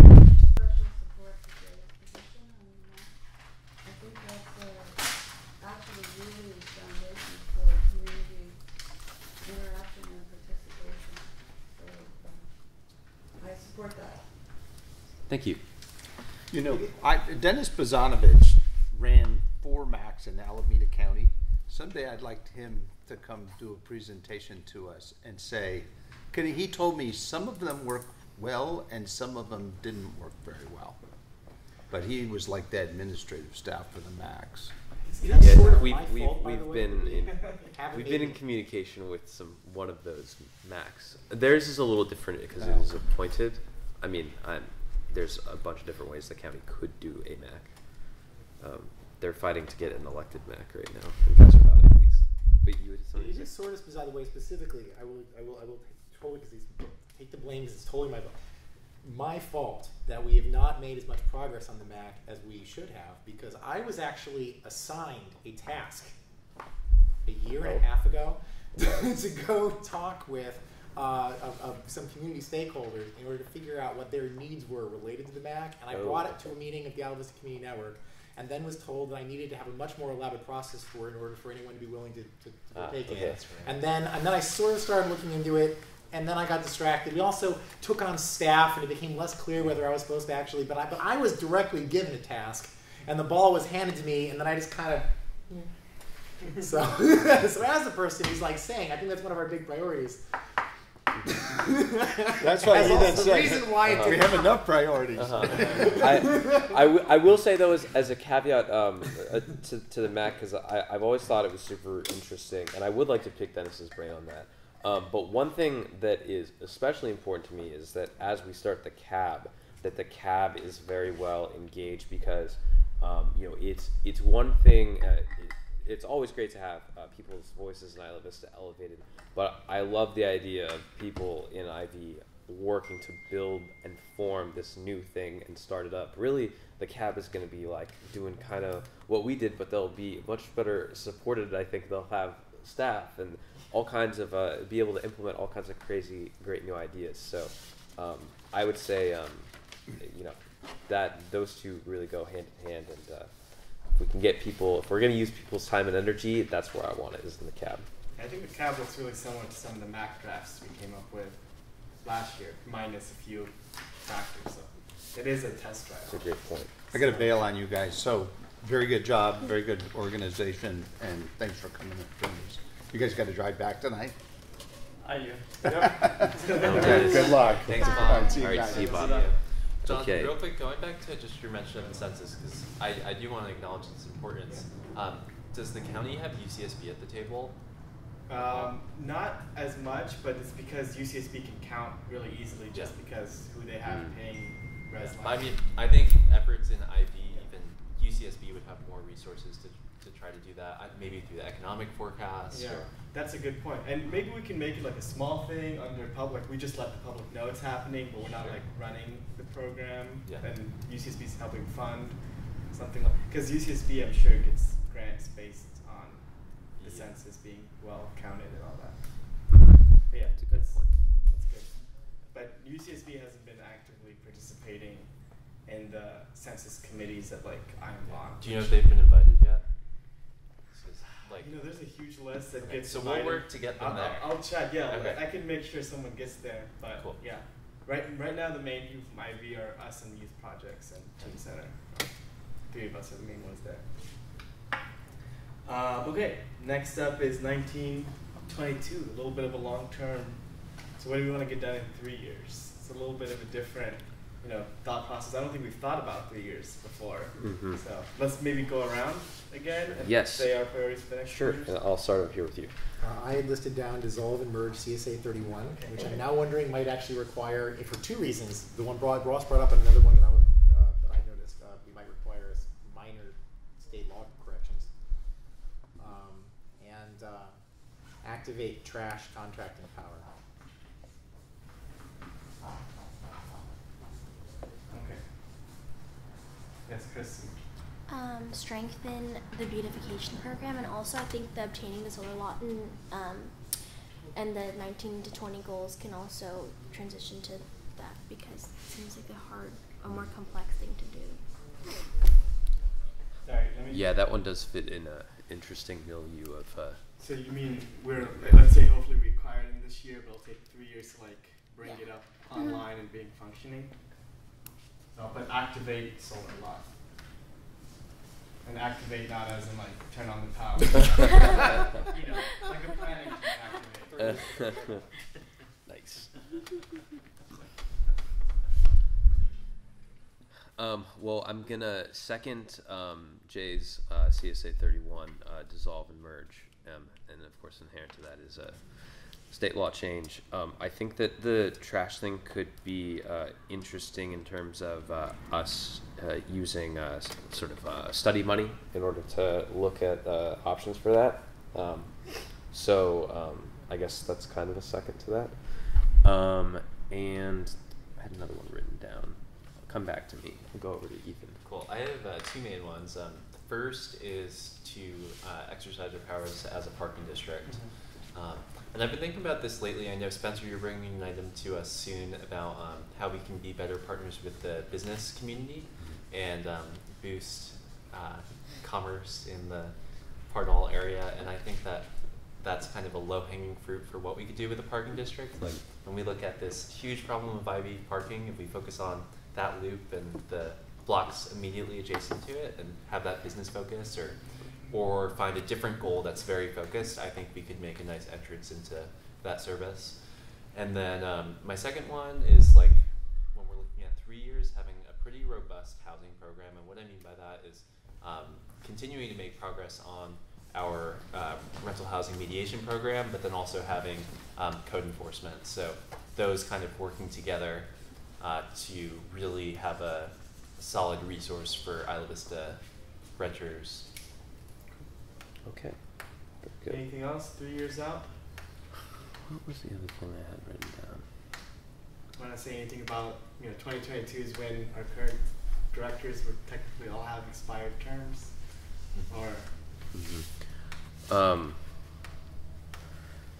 I think we've talked enough already about just the general idea of leadership development and how important that is. Um, and that to me feels like more of a uh, less less a tangible goal and more of a, a practice that we that we need to be thinking about. I think we can make that tangible. Though. There's a lot, I think the cab, like supporting the cab, is a great way to make that tangible. Mhm. Making the internship better. Um, the, lots of leadership academy. Yeah. Mm-hmm. So the last one uh, that I was going to bring up was um, planning and uh, reopening that, re-examining that. Um, I know that's something where it'll be really important to, um, you know, be in coordination with the third district office. Um, I know in the past there's been interest from their office on uh, what we could possibly do with the master plan and tweaking things, um, maybe starting over. Who knows? Um, I just think that it is it, it will be good for our district to, in one way or another, take a more active role in the land use planning process. Ethan. One kind of overarching goal that I have is for us to, in the next few years, figure out and take advantage of opportunities where we can have um, revenue recovery Mhm. streams and just more enterprise functions, such as with the community center when appropriate. Um, I mean, that's not the overarching goal, but if there are special events that are being held that don't conflict with regular programming and there is some revenue to be collected, um, that's something to keep in mind. Also with parking and perhaps some other services. Um, one last one is um, I think that um, really growing our partnership with the IV Rec and Park District um, is going to be really crucial um, for the community in general. Just um, uh, they're they're in a time of transition right now, in a time of changes, and it was great to have. I mean, honestly, out of the entire time when you know when that I've been on the board, I've never gotten a more clear explanation about what we can and can't do in relation to parks uh, since your uh, presentation today. So that was great, and I think um, just growing that partnership will be a good thing. No, no more to add. Can we do a little bit of voting? So we'll maybe do six for this because we've got three years to make this all happen. Six votes. So absorbing CSA 31. Four. We want Mhm. activate the trash power. Can we Is it five votes again? Six. Oh, sorry. Yeah, Six try votes. get six. Wait, hold on. Let me let me look at everything yeah, first. Yeah. Pick your votes now.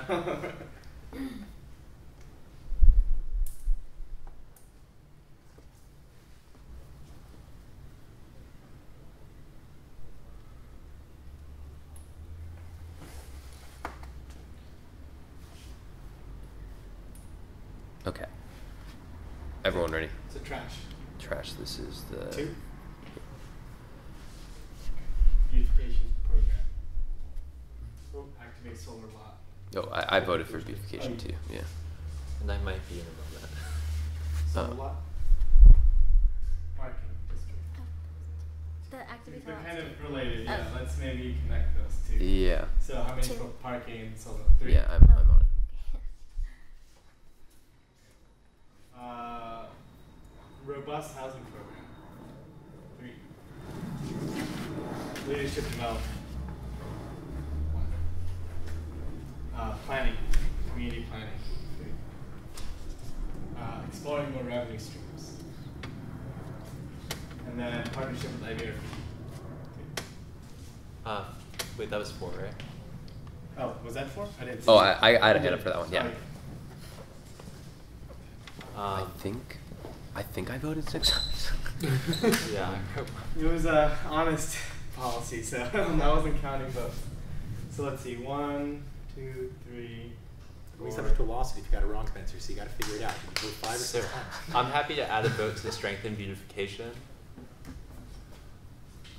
Um, and leadership development.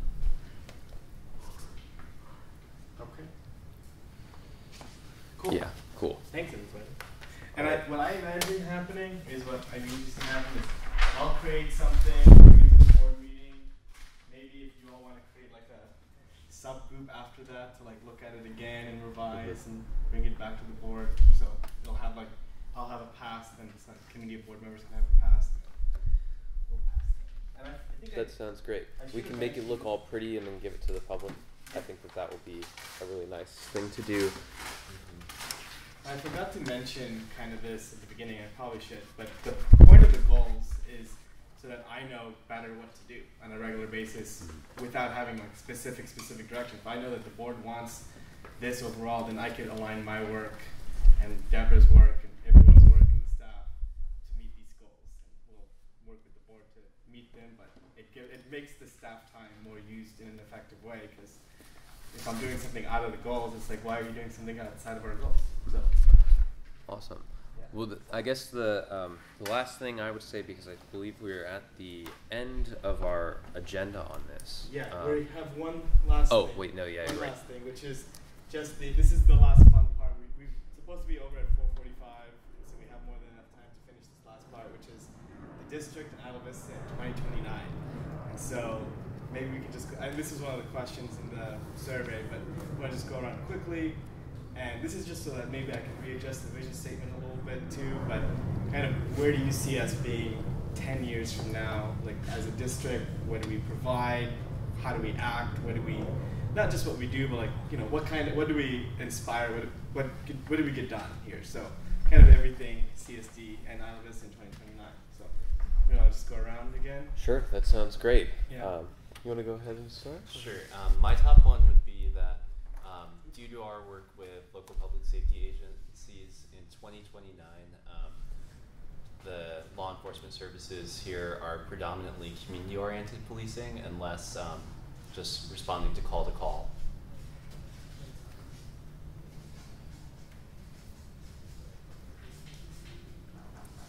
That's really, that's, this is along the lines, yeah. Yeah. I, I like that a lot, and, and I guess jumping off just in the safety area that um, we're, we're seeing uh, dropping crime rate um, and a uh, safer, uh, more uh, managed and organized uh, large events when large events are happening.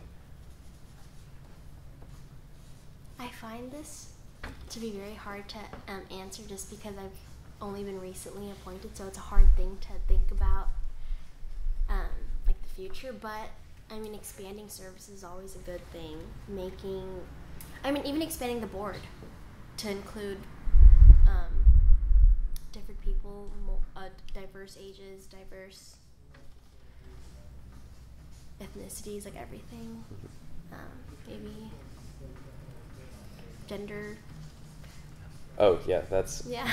that's that's very important, and I think um, it's it really that can uh, is inseparable from just this general idea of leadership development and leadership that looks like the community and actually represents the community.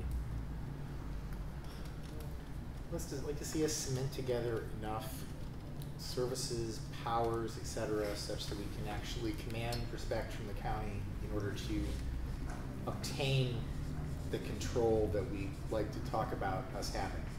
Like the idea right now that we that the county just keeps prioritizing sidewalks and that every single time we're all screaming no. Um, I, I'd like us be in a position where the county more does what we say as opposed to the other. Yeah.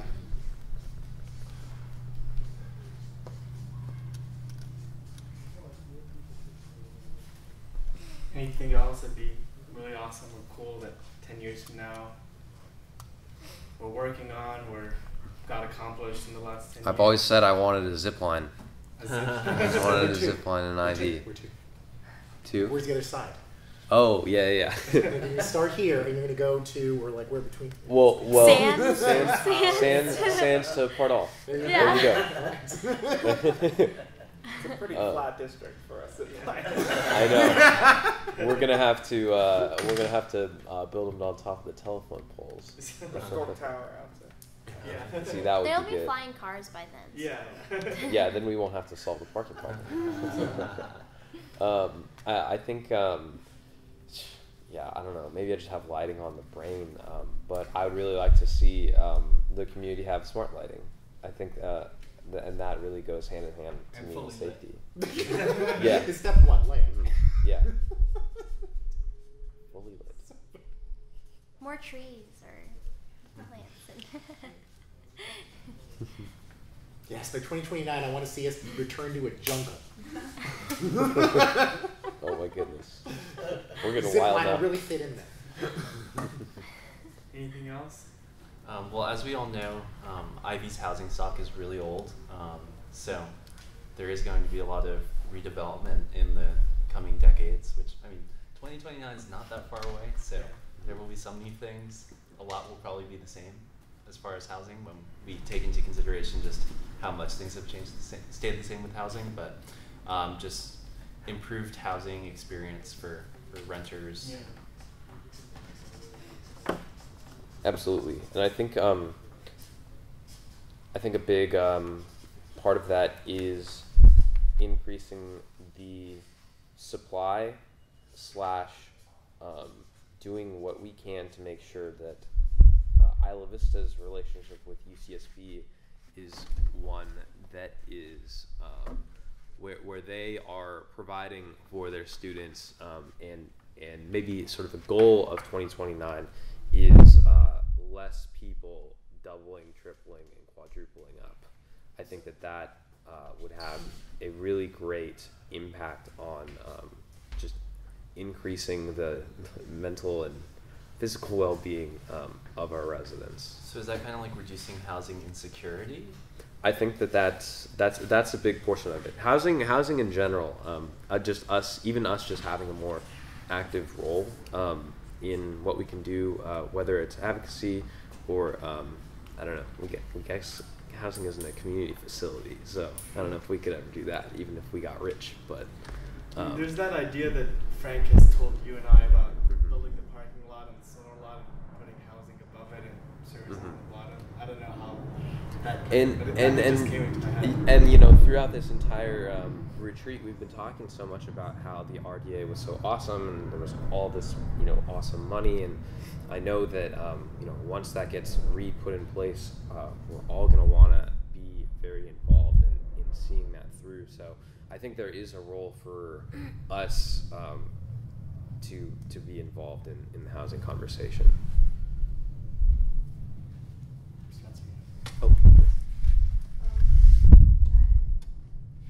thought that occurred to me, and thank you for the, uh, comment about trees. Appreciate that a lot, is to, um, this was talked about at least two or three years ago, is encouraging people not to use cars, so that they get a benefit from not using the car, and the community gets the benefit of fewer, um, crowded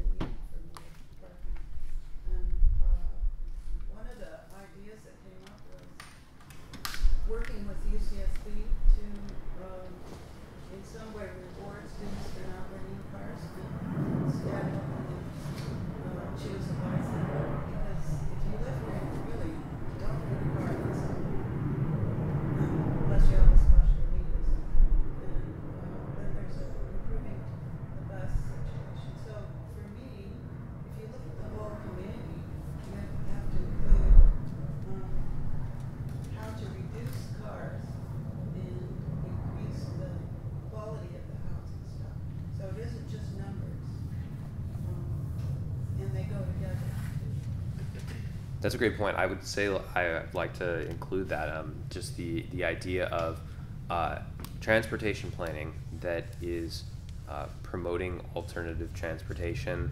It's trying to reduce vehicle miles traveled. Um, that is uh, promoting and strengthening public transportation that already exists.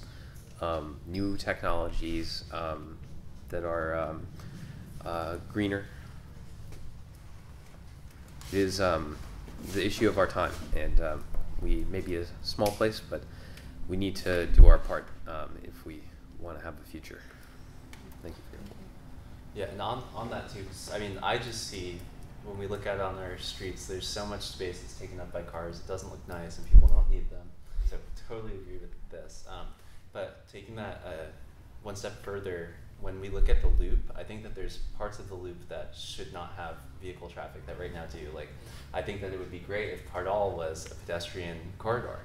Um, I think that would be awesome. I love so that. just Yeah. more uh, public spaces that don't have cars. That's a great way of putting it. And uh, I think we we've probably all fantasized uh, together and separately about closing Pardall and, and how awesome that would be. Um, just the times when they do for the Pardall Carnival, it's awesome. Are there any other things that we wanted to add to this list? Um, I mean, one thing that's been mentioned, kind of uh, when you and Bob were speaking, in the last item was just having uh, Isla Vista be a place uh, that people don't just go to school in, Mm. a, a place with more stable year-round residency, and that that doesn't mean uh, just focusing on people who are uh, currently long-term residents, but making it the type of community where students go to school and then they want to stay, or people want to come here to take a job in Santa Barbara. Um, just having a higher quality of life that makes it conducive to long-term living. Absolutely, I, I couldn't agree more, and that ties in so well with so many of the other things that are on there too. Housing, um, yeah, yeah. Sounds like a great community. Okay, well, that is basically our retreat. So, if there's anything else, we, unless there's anything else, I think we are done with the agenda for now. And we're right on time, Tyler. Awesome. That is so great. Well, we will um, reconvene, or I have to adjourn the meeting. The last thing I was just going to say is um, super looking forward to uh, when Brenda, um, I'm sorry, um, uh, Deborah, I don't know why I said the rest. Um, better to make the mistake now than later. So uh, um, I'm looking so much forward to when she gets brought on board and would love to do that item that we have on here that we pushed with her um, in the short term rather than the long term once she's here. So um, the one about uh, board and staff, just communication and just a chance for us to meet with her and hang out. Sounds great. Uh, do you want us to- oh, we, I was gonna say, we need a motion to. Yes, yes, we do. Is there any other public comment? Anything else? Thank you so much for coming Thank to you. members of the public. Um, Thank you. is there a motion to adjourn the meeting? I'll move to adjourn. I'll second that. Uh, moved by Freeman, seconded by Nguyen. Any public comment? Any board discussion? All those in favor? Um, Aye. Aye. Any There, opposed? there is one thing I would like to add. Um, Sorry, uh, we're pausing the motion. Go in ahead. the acknowledgement, we do um, uh, mention uh, that it's important to keep those strong ties between um, the indigenous uh, stewards of the community and everything else. Uh, so I, I, I don't necessarily know if it's best as a goal, but I think that it's just a little something to keep in mind that we we've made that commitment and it's a living commitment. Absolutely. That is. Thank you for reminding us that, and I'm reminded every time that I look at the agenda. So uh, thank you for all the hard work that you put in Yeah. to making Thank that you. happen. Okay, so we're gonna revote. all those in favor? Aye. Any opposed? Motion passes four to zero with three absent. Thanks, everybody. Thank you. Thank you.